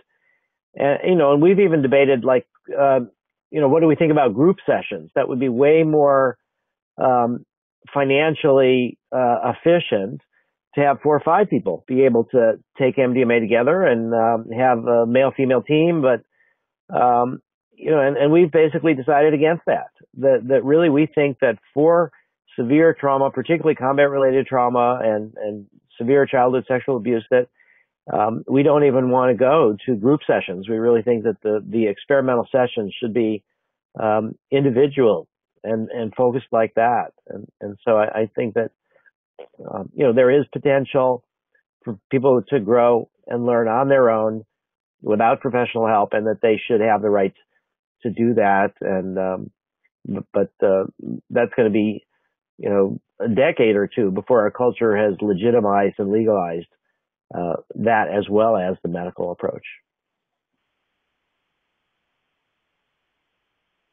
I basically agree with Rick um, about most of what you said. Um, I think I I kind of I, I I certainly agree that prohibition is not a wise or effective way of trying to keep people from having problems with these things. But so legal considerations aside, you know, I think that I sort of think maybe there are three tiers. Um, one is using these um, substances in a without much attention, situation without attention to set and setting. Um, as you can read in Tom's book, I've had those experiences um, in the past. And sometimes you can, uh, you know, personally, I've had some very valuable uh, experiences that I'm grateful for in those kinds of settings. But I've also had some problematic experiences, also mentioning in the book, similar to Rick's in some ways. And I, I think I was, because at that time, back in the 60s, I didn't understand the value of set and setting very well. Um, I think I carried burdens from those experiences um, for quite a long time until I actually learned the work of Stan Grof and began to be able to process them more deeply. And of course, some people do dangerous things and die when they're in an unsupervised situation. So like there's, I think, think there's a potential for useful experiences like that, but the risk is quite a lot higher. And then the other, the next tier, I guess I'd say is, um, you know, non-therapy session with friends or a spouse you paid attention to certain setting. Um, and I can, I think um, for many people, that can be very valuable and, and as you described, um, useful and, and safe. Um, on the other hand, I think there's some people um, that can get into problematic states uh, in which having a therapy team that is experienced could make all the difference. I, I, we've had some people in our studies that I think were clearly at, at high risk for uh, suicide or, or getting worse if they hadn't had enough proper support to deal with everything that was coming up. Because uh, as we often talk to people about in the studies, sometimes symptoms get worse before they get better. This opens things up and it can stir things up, and it should not be taken lightly. So I think um, for some people, the risk, you know, getting a therapeutic setting is much safer. Uh, and lowers the risk a lot, whereas for other people, that's probably not necessary. Um, I, would add that uh, I, I, I, think that uh, both uh, Rick and Michael sort of laid out well the, the sort of constellation of risk versus reward here. But I'll just point out that a um, the study at Johns Hopkins uh, on uh, giving people psilocybin who were healthy, uh, successful individuals who had no presenting psychiatric problems at all, that um, they they gave it in a very secure setting with with uh, people monitoring them. No real uh, there was no real therapy going on, but um, 70% of the the people in this study rated these experiences as one of the five most significant experiences of their entire lives. Um, and so when you're when you're talking about you know sort of this one-time experience people who had uh, lived full and rewarding lives, saying that this was one of the five, and and many people said it was the most significant experience of their life. Well, that's something you really can't ignore or shouldn't ignore, I believe, uh, that there's a an aspect to this experience that transcends um, therapy or for any particular problem that is just uh, life enhancing and um, and instructive and you know as you know as they said uh, you know I've had some of these experiences that have enriched my life uh, for decades after they happened. Um, and in researching this book, uh, I, you know, I took the chance of, of, uh, you know, having felony possession of mushrooms in order to check this out again. And, and I had a experience that was transcended any previous experiences I had. And I, you know, I believe it'll enrich me the rest of my life. So, uh, I think that as a culture, we really need to, um, as we move forward to getting this uh, therapy to people who, who really need it desperately just for their health, that we're going to have to also keep an eye on this, uh, you know, the power that they have to uh, enrich life and, and, not just sort of to cure uh, dysfunction. Um, and so that's going to be complicated for this society because of our history of demonizing the drug and because of our difficult relation with uh, other drugs of abuse um, and you know the you know our our difficulty in sorting out risk and reward but it's definitely something that I I I certainly hope will happen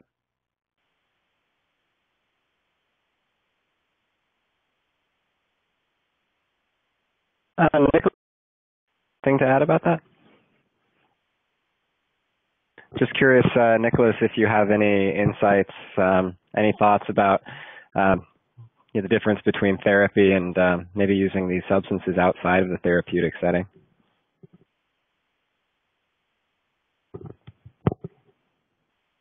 My own personal experience of uh, using MDMA outside of the therapy, I wanted to see if there was any difference really between the uh, the pure MDMA, I guess, that I was getting in the session and what's out there. And it's um, it's not the same at all. Enjoy my uh, MDMA experience uh, at home. It wasn't even the same compound, I don't believe.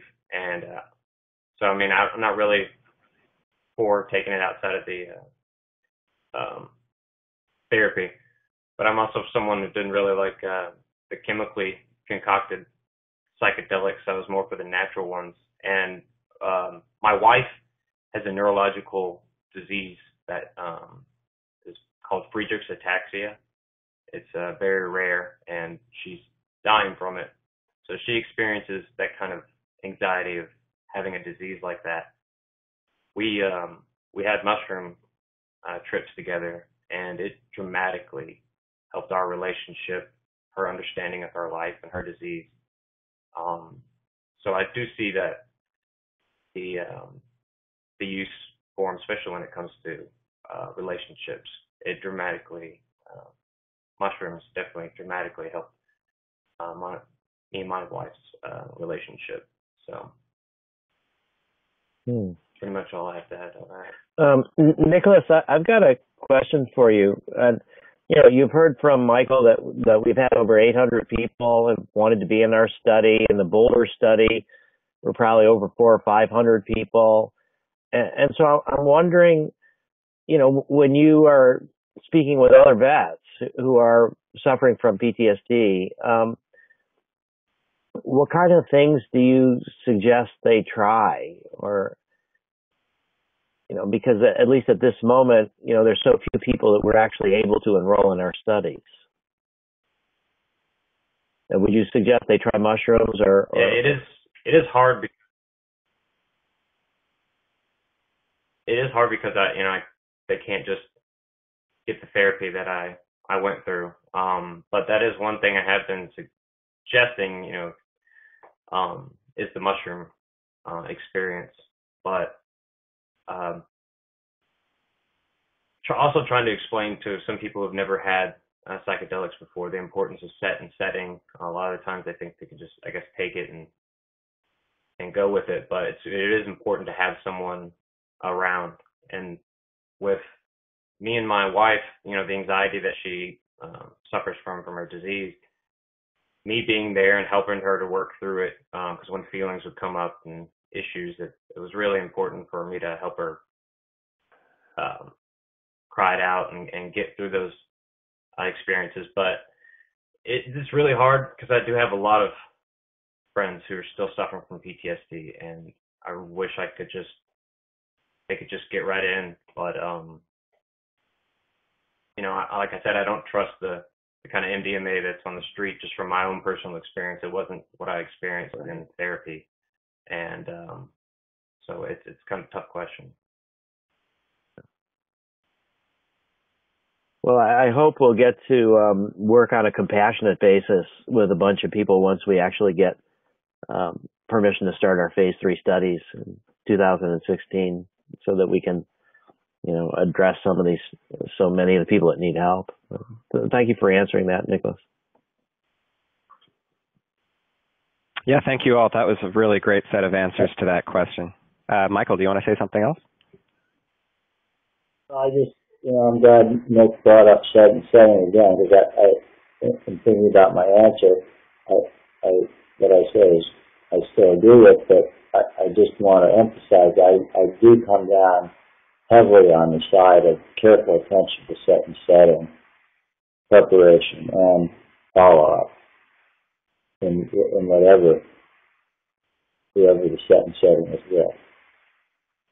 I think it's Yeah. Th- th- There's a there's kind of a related question actually um, that tags on very nicely to this. Uh, Swami Gopalsamy from San Francisco, uh, California, doesn't have a mic, but he wanted to ask um, uh, really about the risks of psychedelics.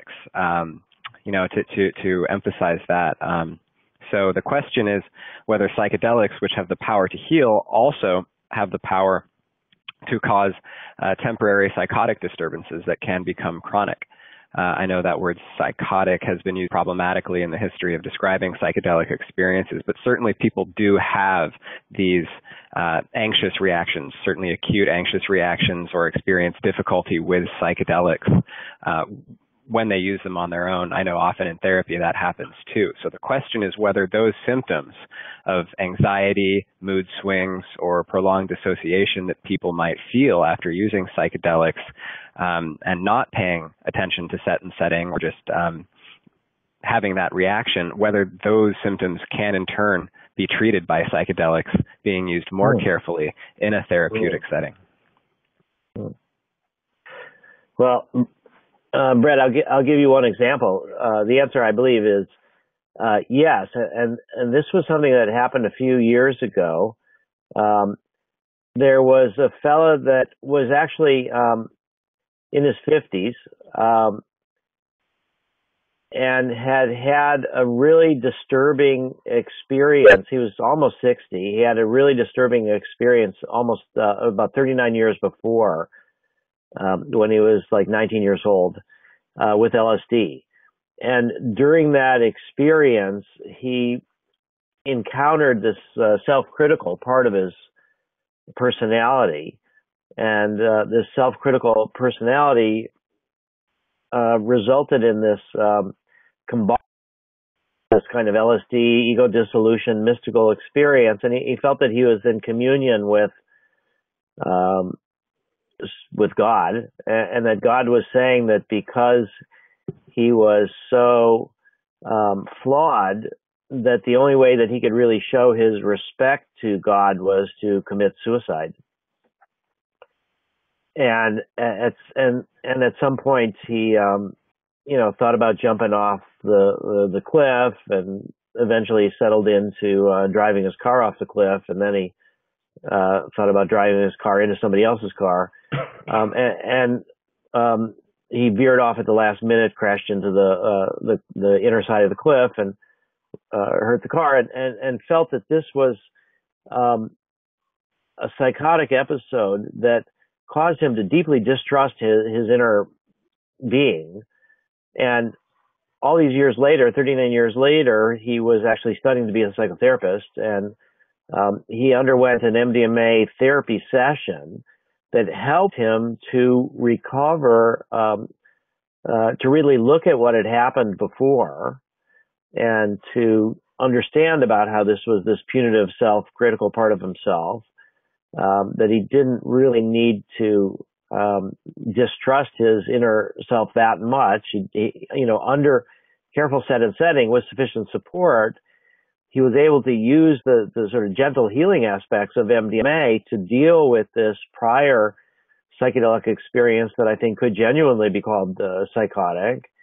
Uh, that it had lasting damaging effects on his life for decades and decades and decades and decades. Um, and, and the the what I kind of drew out of that was that on an individual level, here was MDMA helping someone deal with uh, psychedelic trauma from the 60s and and that's what I think we're hoping to be able to do in a broader cultural sense is to use the gentleness of MDMA to bring back to our culture psychedelics uh, and psychedelic psychotherapy to heal a lot of the trauma, the culture-wide trauma that we had from the uh, cultural uh, explosion of the 60s, the counterculture, and to heal that. Um, and so I think the, the simple answer is that um, one of the metaphors that I've used is that psychedelics are like the surgeon's knife. You know, under a careful hands in a, in a wise setting, you can really go in deep and, uh, you know, produce some major healing, but you can also use the same knife to hurt. And it could be the uh, attacker's knife. And that there's a certain neutral quality to these tools um, with uh, largely dependent upon the set and setting and the support and the attitude and the, the integration work. And so certainly the, the fact that they have the power to heal, I think, um, inherently means that they have the power to, to hurt as well. And we have to acknowledge that. And how we bring this forward um, will be in light of both risks and benefits, and that we're not just saying these are drugs that are inherently good and um, you know everybody should take them and you'll just end up being better off because that's uh, clearly you know not true. Yeah, I think that's a really good example of what might have, well, what could have been fatal, of course, almost was, but what if, if that same experience had occurred in a set, with the mindset of working with the medicine, you know, more the way we're describing, and with the right setting to support that, you know, that could have been ended up being a very healing experience because the person could have stayed with it, taken it inside, worked with it inside and with the people, the therapist, whoever's with them, rather than taking it, you know, acting it out. Um, it could have unfolded into a, a, very deep healing experience at that time in the right set and setting, whereas in the wrong and setting and taking it out and moving around in the world, it was very dangerous and ended up being detrimental for many years. So it's another example of and setting um, being so important. And just as an aside, of course, there are medical risks to these medicines too, especially MDMA, elevating blood pressure and pulse. Um, so, it, like anything else we use in medicine, it has potential risks as well as potential benefits. Those need to be taken seriously.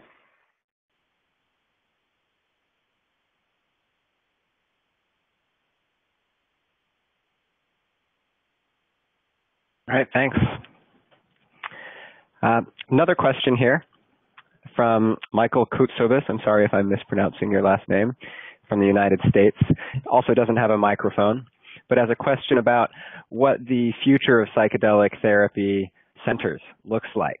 Uh, the question is as follows.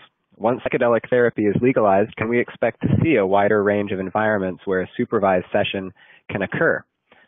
Might we see a new generation of Marsh Chapel experiments a session conducted in nature, or even new Eleusis-like institutions constructed specifically for psychedelic therapy. I'd like to expand on that a little bit and just ask, you know, first of all, what do these future psychedelic therapy centers look like, and um, could they possibly include these kinds of more outside uh, settings for psychedelic therapy? Yeah, well, let me uh, share a, a, triumph that we've just had recently. Um, you know, one of the things that um, I think has surprised people is that we have been able to work with FDA, with DEA, with IRBs, and get permission to create um, research centers uh, that are not affiliated with academic institutions. And in fact, uh, you know, we joke about how Michael and Annie's setting is like a psychedelic bed and breakfast. It's a um, you know, converted home in a, a street of um, homes that are now uh, commercial buildings. There's a kitchen there. There's bathrooms. There's, uh, you know, people can stay overnight. And so we've been able to uh, create our research center in um, places that I think are much more conducive to healing than on a hospital ward. And most recently, for our MDMA study, for um, people with uh, life-threatening illnesses, uh, with anxiety. Uh, this is the first time that we actually um, have proposed both the FDA, IRB, and DEA that the research be conducted in the home office of the psychiatrist doing the study. And it's way up on a hill past the redwoods um, in San Anselmo. It's a gorgeous setting surrounded by nature.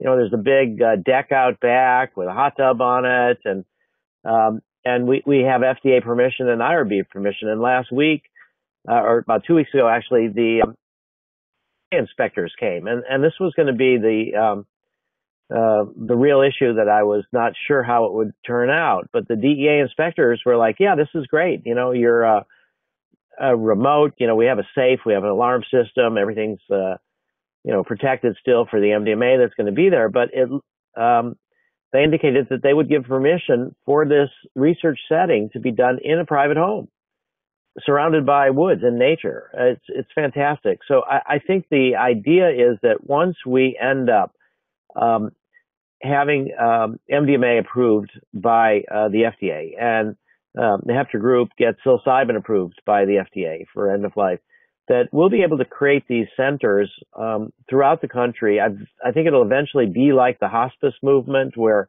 in 1974 was the first hospice. In 2004, there was over 3,000 of them. Um, and that some of them will be run by different religions. Some of them will be done by different kinds of psychotherapists.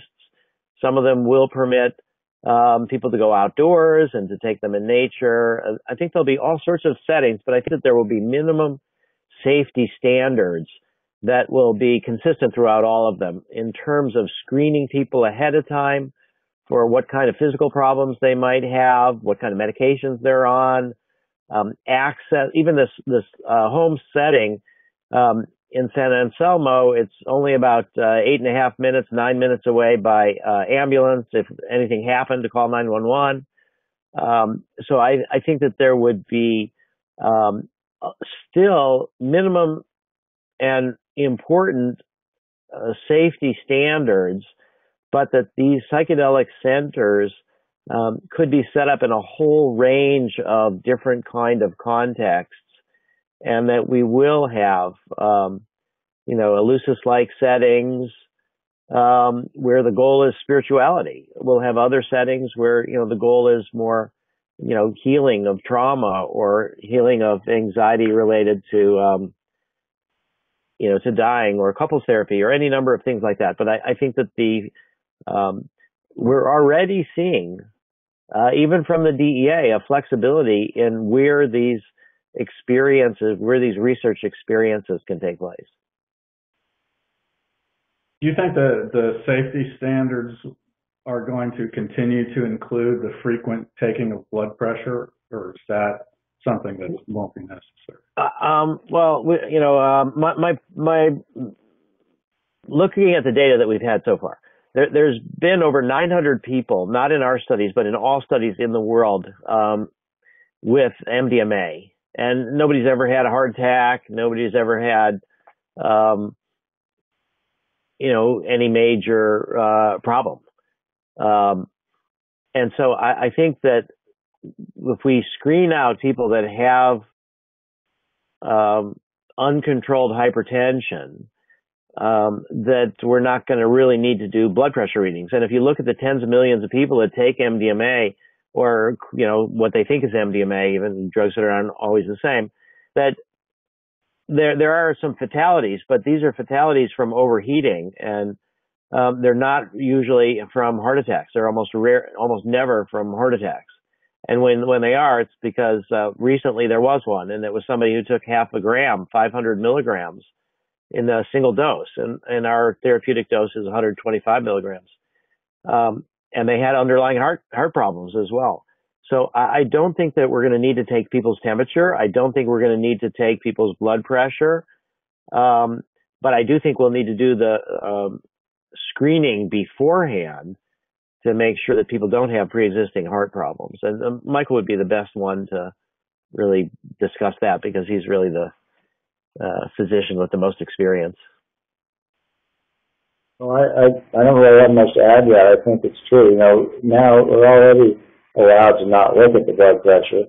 Um, we still have to take it frequently, but we're allowed to, as long as the baseline blood pressure is okay, we're allowed to cover it up and then at the end and we could print it if we needed to. So I, I think fairly soon we won't have to keep doing that. But as Rick says, the screening to find underlying medical conditions ahead of time is is more important than that kind of monitoring.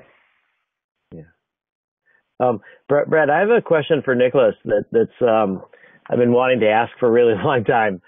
Um, uh, so sorry to interrupt um, for other people, but th- this doesn't have to be a long question. But you know, I know that's great. You're totally free to to ask and answer questions. Oh, uh, okay. Okay.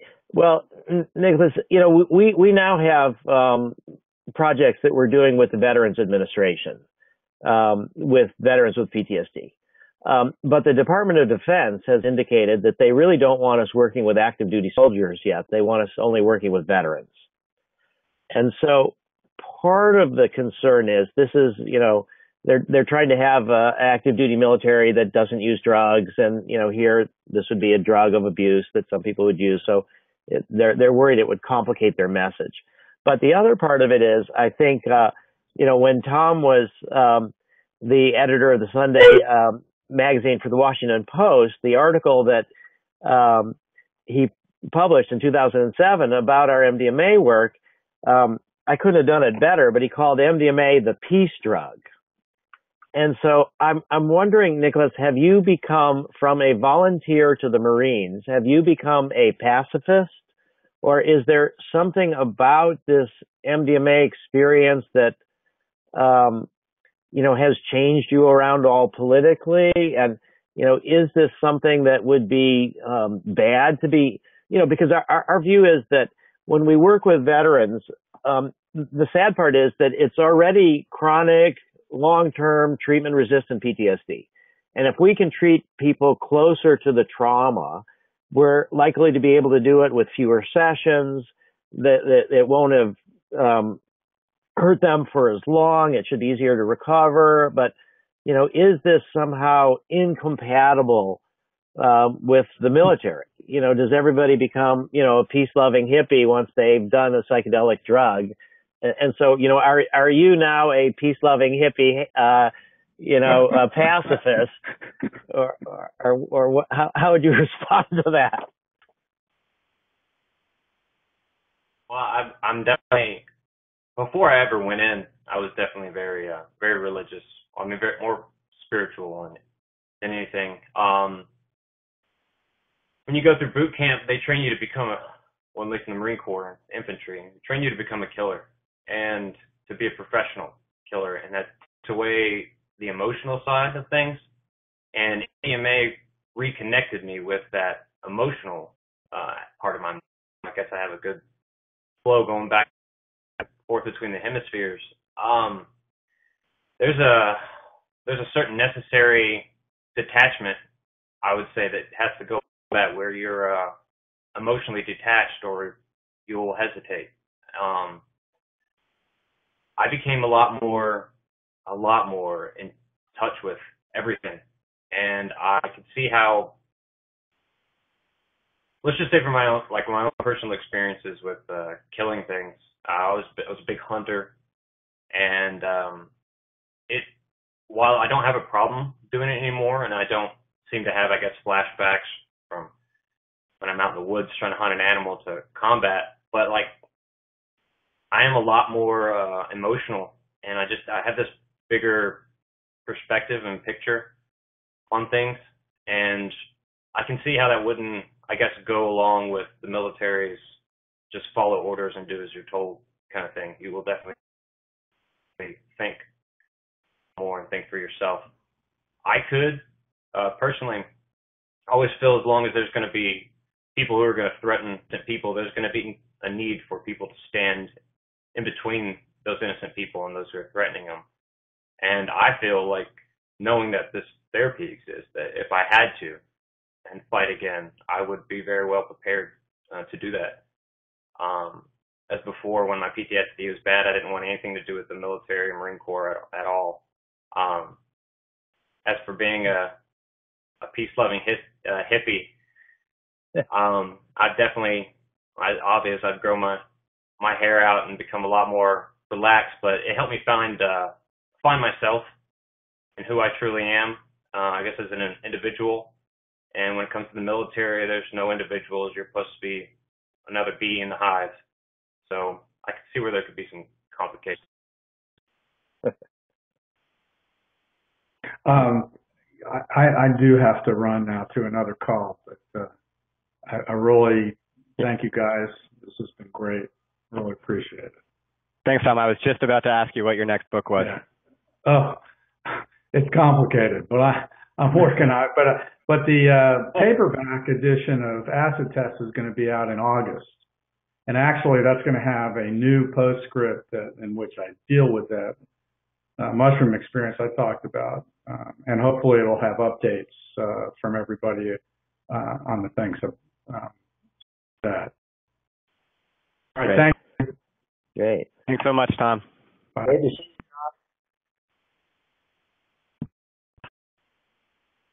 Cool, that was great. Uh, yeah, we're running a little bit over time. I guess we're about ready to wrap it up. We have a couple more questions we couldn't get to. Um, really, only three or four. Uh, I will. Uh, Brad, do you want to ask him real fast? Maybe we can do it. Uh, well, I don't know. Um, Nicholas, Michael, how are you feeling? I'm okay for a bit longer. Sure. Okay, we can go another five minutes or so. Uh, I don't want to take our attendees' time, although I guess if it's interesting, they'll stick around. All right. Uh, the next question that I have lined up is um, a little more specific. Um, this is from Andrew Thomas of Birmingham, Alabama. Uh, doesn't have a mic. Uh, he's wondering about uh, the process of guiding the patients in MDMA-assisted psychotherapy and how it compares to EMDR, eye movement uh, desensitization reprocessing. Um, I'm also curious about how it overlaps with cognitive behavioral therapy. Michael, I know that you use other techniques in the therapy. You're not just talking to people and giving them MDMA, but there's other techniques that are that are wrapped up in there. So that might be helpful for people who are interested in exploring it as a career. Yeah. Um, well, I, I am trained in EMDR and used it for quite a few years. I still do sometimes. Uh, I, I think there's some similarities in that the idea with EMDR is that the therapist isn't directing the, the process, the therapist is supporting the process, and there's a catalyst, in this case the eye movements, to help people um, get into the process. So I, I think it's quite similar, and then as with EMDR, um, if people get stuck, uh, then the therapist becomes more active. So I think there's quite a bit of overlap. Um, there's overlap with cognitive behavioral therapy also, um, in that the difference is in cognitive behavioral therapy, people are kind of directed by the therapist to, okay, now, now do this, or it's much more directive and active on the therapist's part. In this case, it's most of the time much less directed. Um, but people recognize, you know, often spontaneously, sometimes with some help from the therapist, people recognize kind of underlying distorted um, perspectives about life and have corrected um, experiences about that. They, um, uh, you know, make kind of correct cognitive distortions. So I think there's a lot of overlap, and also with other therapies. I actually uh, wrote an article um, sometime in the last couple of years. It was in the MAPS bulletin um, about that, the way MDMA, our, our approach to MDMA-assisted therapy overlaps with other kinds of kinds of psychotherapy, um, including EMDR, cognitive behavioral, and others. So, um, if you want to hear more of my, read more of my thoughts about that, uh, you can get that uh, at maps.org.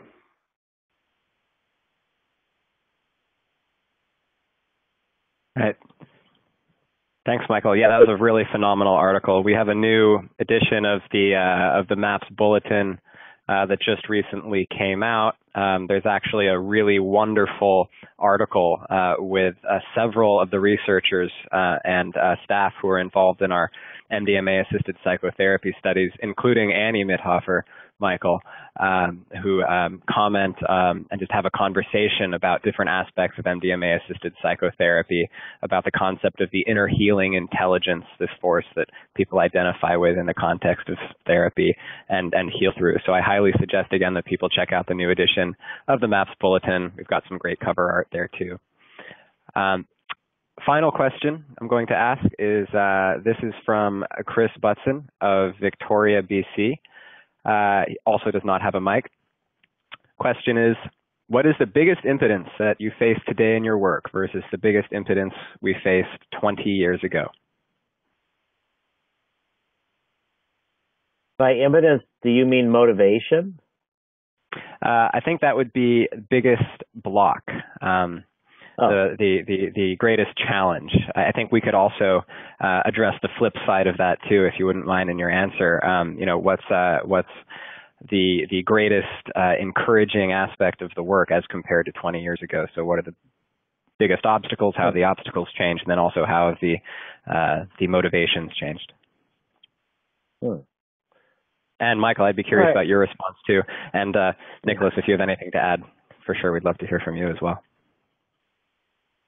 Um, all right. Well, I'll, I'll just say from 20 years ago, 1995, um, the the the group at, at uh, FDA who um, regulated psychedelics and marijuana um, shifted in 1989 and 1990 um, from the group that had previously regulated it for about 30 years, and they're they're the ones that really shut down all the research um, around 1970, and so for several decades there was not a possibility of doing research. All these applications were just rejected out of hand. There was no scientific evaluation. It was all just politically driven and no way to do research. Starting in 92, um, FDA shift the group shifted and they said science before politics. And so um, we were in the midst in 1985 of our first study with MDMA with Dr. Char- Charles Grob, and it was a dose response safety study. Um, at that time, uh, we weren't able to do therapy studies. We had to um, start from the very beginning and show the, the safety at different doses. Um, and but the the regulatory blocks um, had been removed in the United States, but were still present in most places of the world, and that really required us to move into therapy studies in the U.S. So um, I would say our biggest limitation um, in 20 years ago was, with psychedelics was that we really um, still had negative attitudes in the public that predominated. Uh, the FDA was sort of a leading edge and willing to let the science go forward. And our biggest challenge was uh, fundraising. Um, and then also the complete um, uh, blockage around the world as well. And now we really have open regulatory door all over the world. Um, I'd say that the two main limitations now are that we need to raise a lot more money, although, um, you know, that's, um, we're having more and more opportunities to do that, particularly as we get more and more um, studies under our belt and that show benefits. And I think once we publish the data from the VET study, we'll have more support. I, I think um, in some ways the biggest uh, challenge for us now is training enough therapists to work on our studies. Um, so that we can really expand from, um, you know, two sites in the U.S., one in Israel, one in Canada, one in Switzerland, to you know 20 to 30 sites. And so I, would say our challenge is really figuring out um, what one of the questions was, which is how do we train therapists? What are the prerequisites? Um, you know, how um, widespread can this this treatment become? You know, to what extent does um, uh, is there a limited supply of therapists that really know how to work well with it, that have done their own inner work, that can sit still when people are going through a lot of pain and suffering and uh, be non-directive and support them rather than try to, you know, take credit and steer them. So I, would say our biggest issues are uh, training therapists, and um, you know, while it's a mountain of money that we have to raise uh, in donations, um, you know that that's a challenge as well. But I, I think if we have good, if we can figure out the, the therapists and training, getting a whole bunch of therapists that are really highly qualified, um, we'll be able to raise the money. Uh, Yeah, oh, uh, sorry, sorry, Michael. Let me say, add one, one last thing. I was going to say that, that we still are facing obstructions with medical marijuana research. There's a monopoly on the supply of marijuana held by the National Institute on Drug Abuse, protected by the DEA um, you know, they're, they're weakening in their uh, resistance to medical marijuana research. that's happening all over the world, but, but we're really still battling away at uh, politics blocking the science when it comes to medical marijuana. So th- that hopefully will take, uh, you know, within the next five years, hopefully that'll be overcome as well.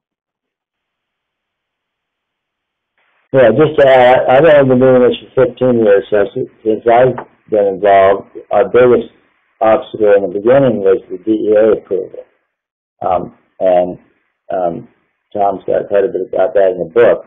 but, you know, since then, now we have a, a good working relationship with DEA and um, we haven't encountered that kind of delay. You know, we had a two and a half year extra delay getting DEA approval in the beginning, and that's just not happening anymore. Kind of a, an indirect obstacle was also at that time the you know the psychiatric community, the academic world uh, was at least in South Carolina, but a lot of other places too, was very uh, resistant to this. And the medical school here, although I was on the clinical faculty, was um, you know distancing, distancing itself from us as fast as possible in the early days when we started the first study.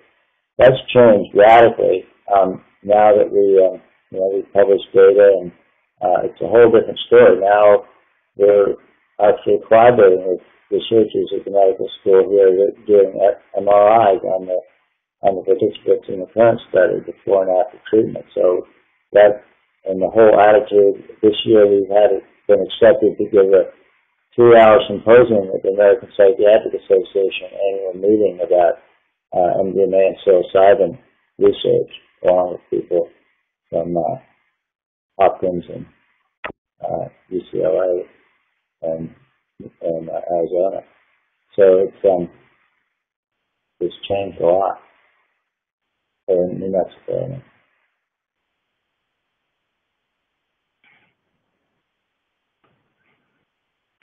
Yeah, it certainly has changed a lot. Even just in the last four or five years I've been part of it, it's just been a real thrill and really exciting and really encouraging to see how many new people are participating, um, either by funding or just spreading the word or just being willing to talk about it at the dinner table. Um, it's been really great. And um, we're definitely going to have more opportunities for online education like this. This is our second one um, ever. Uh, well, our third one, if you count our previous Indiegogo campaign for the Zendo project, our psychedelic harm reduction. So we'll be doing more online education for sure. Uh, I was just having a little chat with uh, Michael, one of our attendees, uh, and um, we decided that this is less expensive than a conference, but potentially at least as expansive. So we're going to continue, we're going to continue promoting this and uh, hopefully do some more this year. It's obviously a very great way to bring together the international community and um, get us um, get us talking about some interesting aspects of this work. So really, we're we're all educators here, and we can all help raise funding and awareness for um, for this work um, up until and through the time that psychedelic therapy research becomes self-sustaining once MDMA is a is a legal prescription uh, medicine. Uh, so uh, thank you again, all of you, for uh, participating. Nicholas, Michael, Rick, um, also Tom, who had to leave because we were going over, as we always do, because we have more to say. and to our attendees uh, and uh, our, our, donors to this campaign and all of our guests who've joined us today, thank you so much. Um, uh, please uh, stay up to date with what MAPS is doing and other things that are happening in the psychedelic research world on maps.org. We have a newly designed site, our email newsletter, which will be going out tomorrow or Saturday. Uh, we have a lot of news to collect, and we'll be sending that out. So sign up for the MAPS newsletter at maps.org/newsletter and just uh, stay tuned to what's next. We have a, a, lot in store for the next year in terms of education and research. Michael, you and Annie are working very, very hard over there, and thank you for continuing to uh, get that get that data out there and transform people's lives and open up the door for this really important work.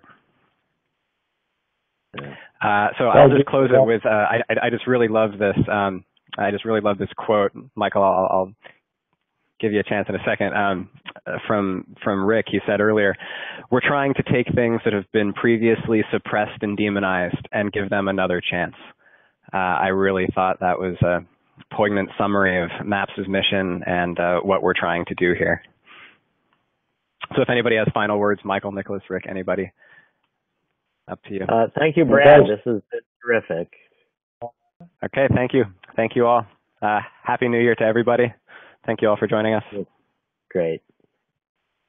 Bye.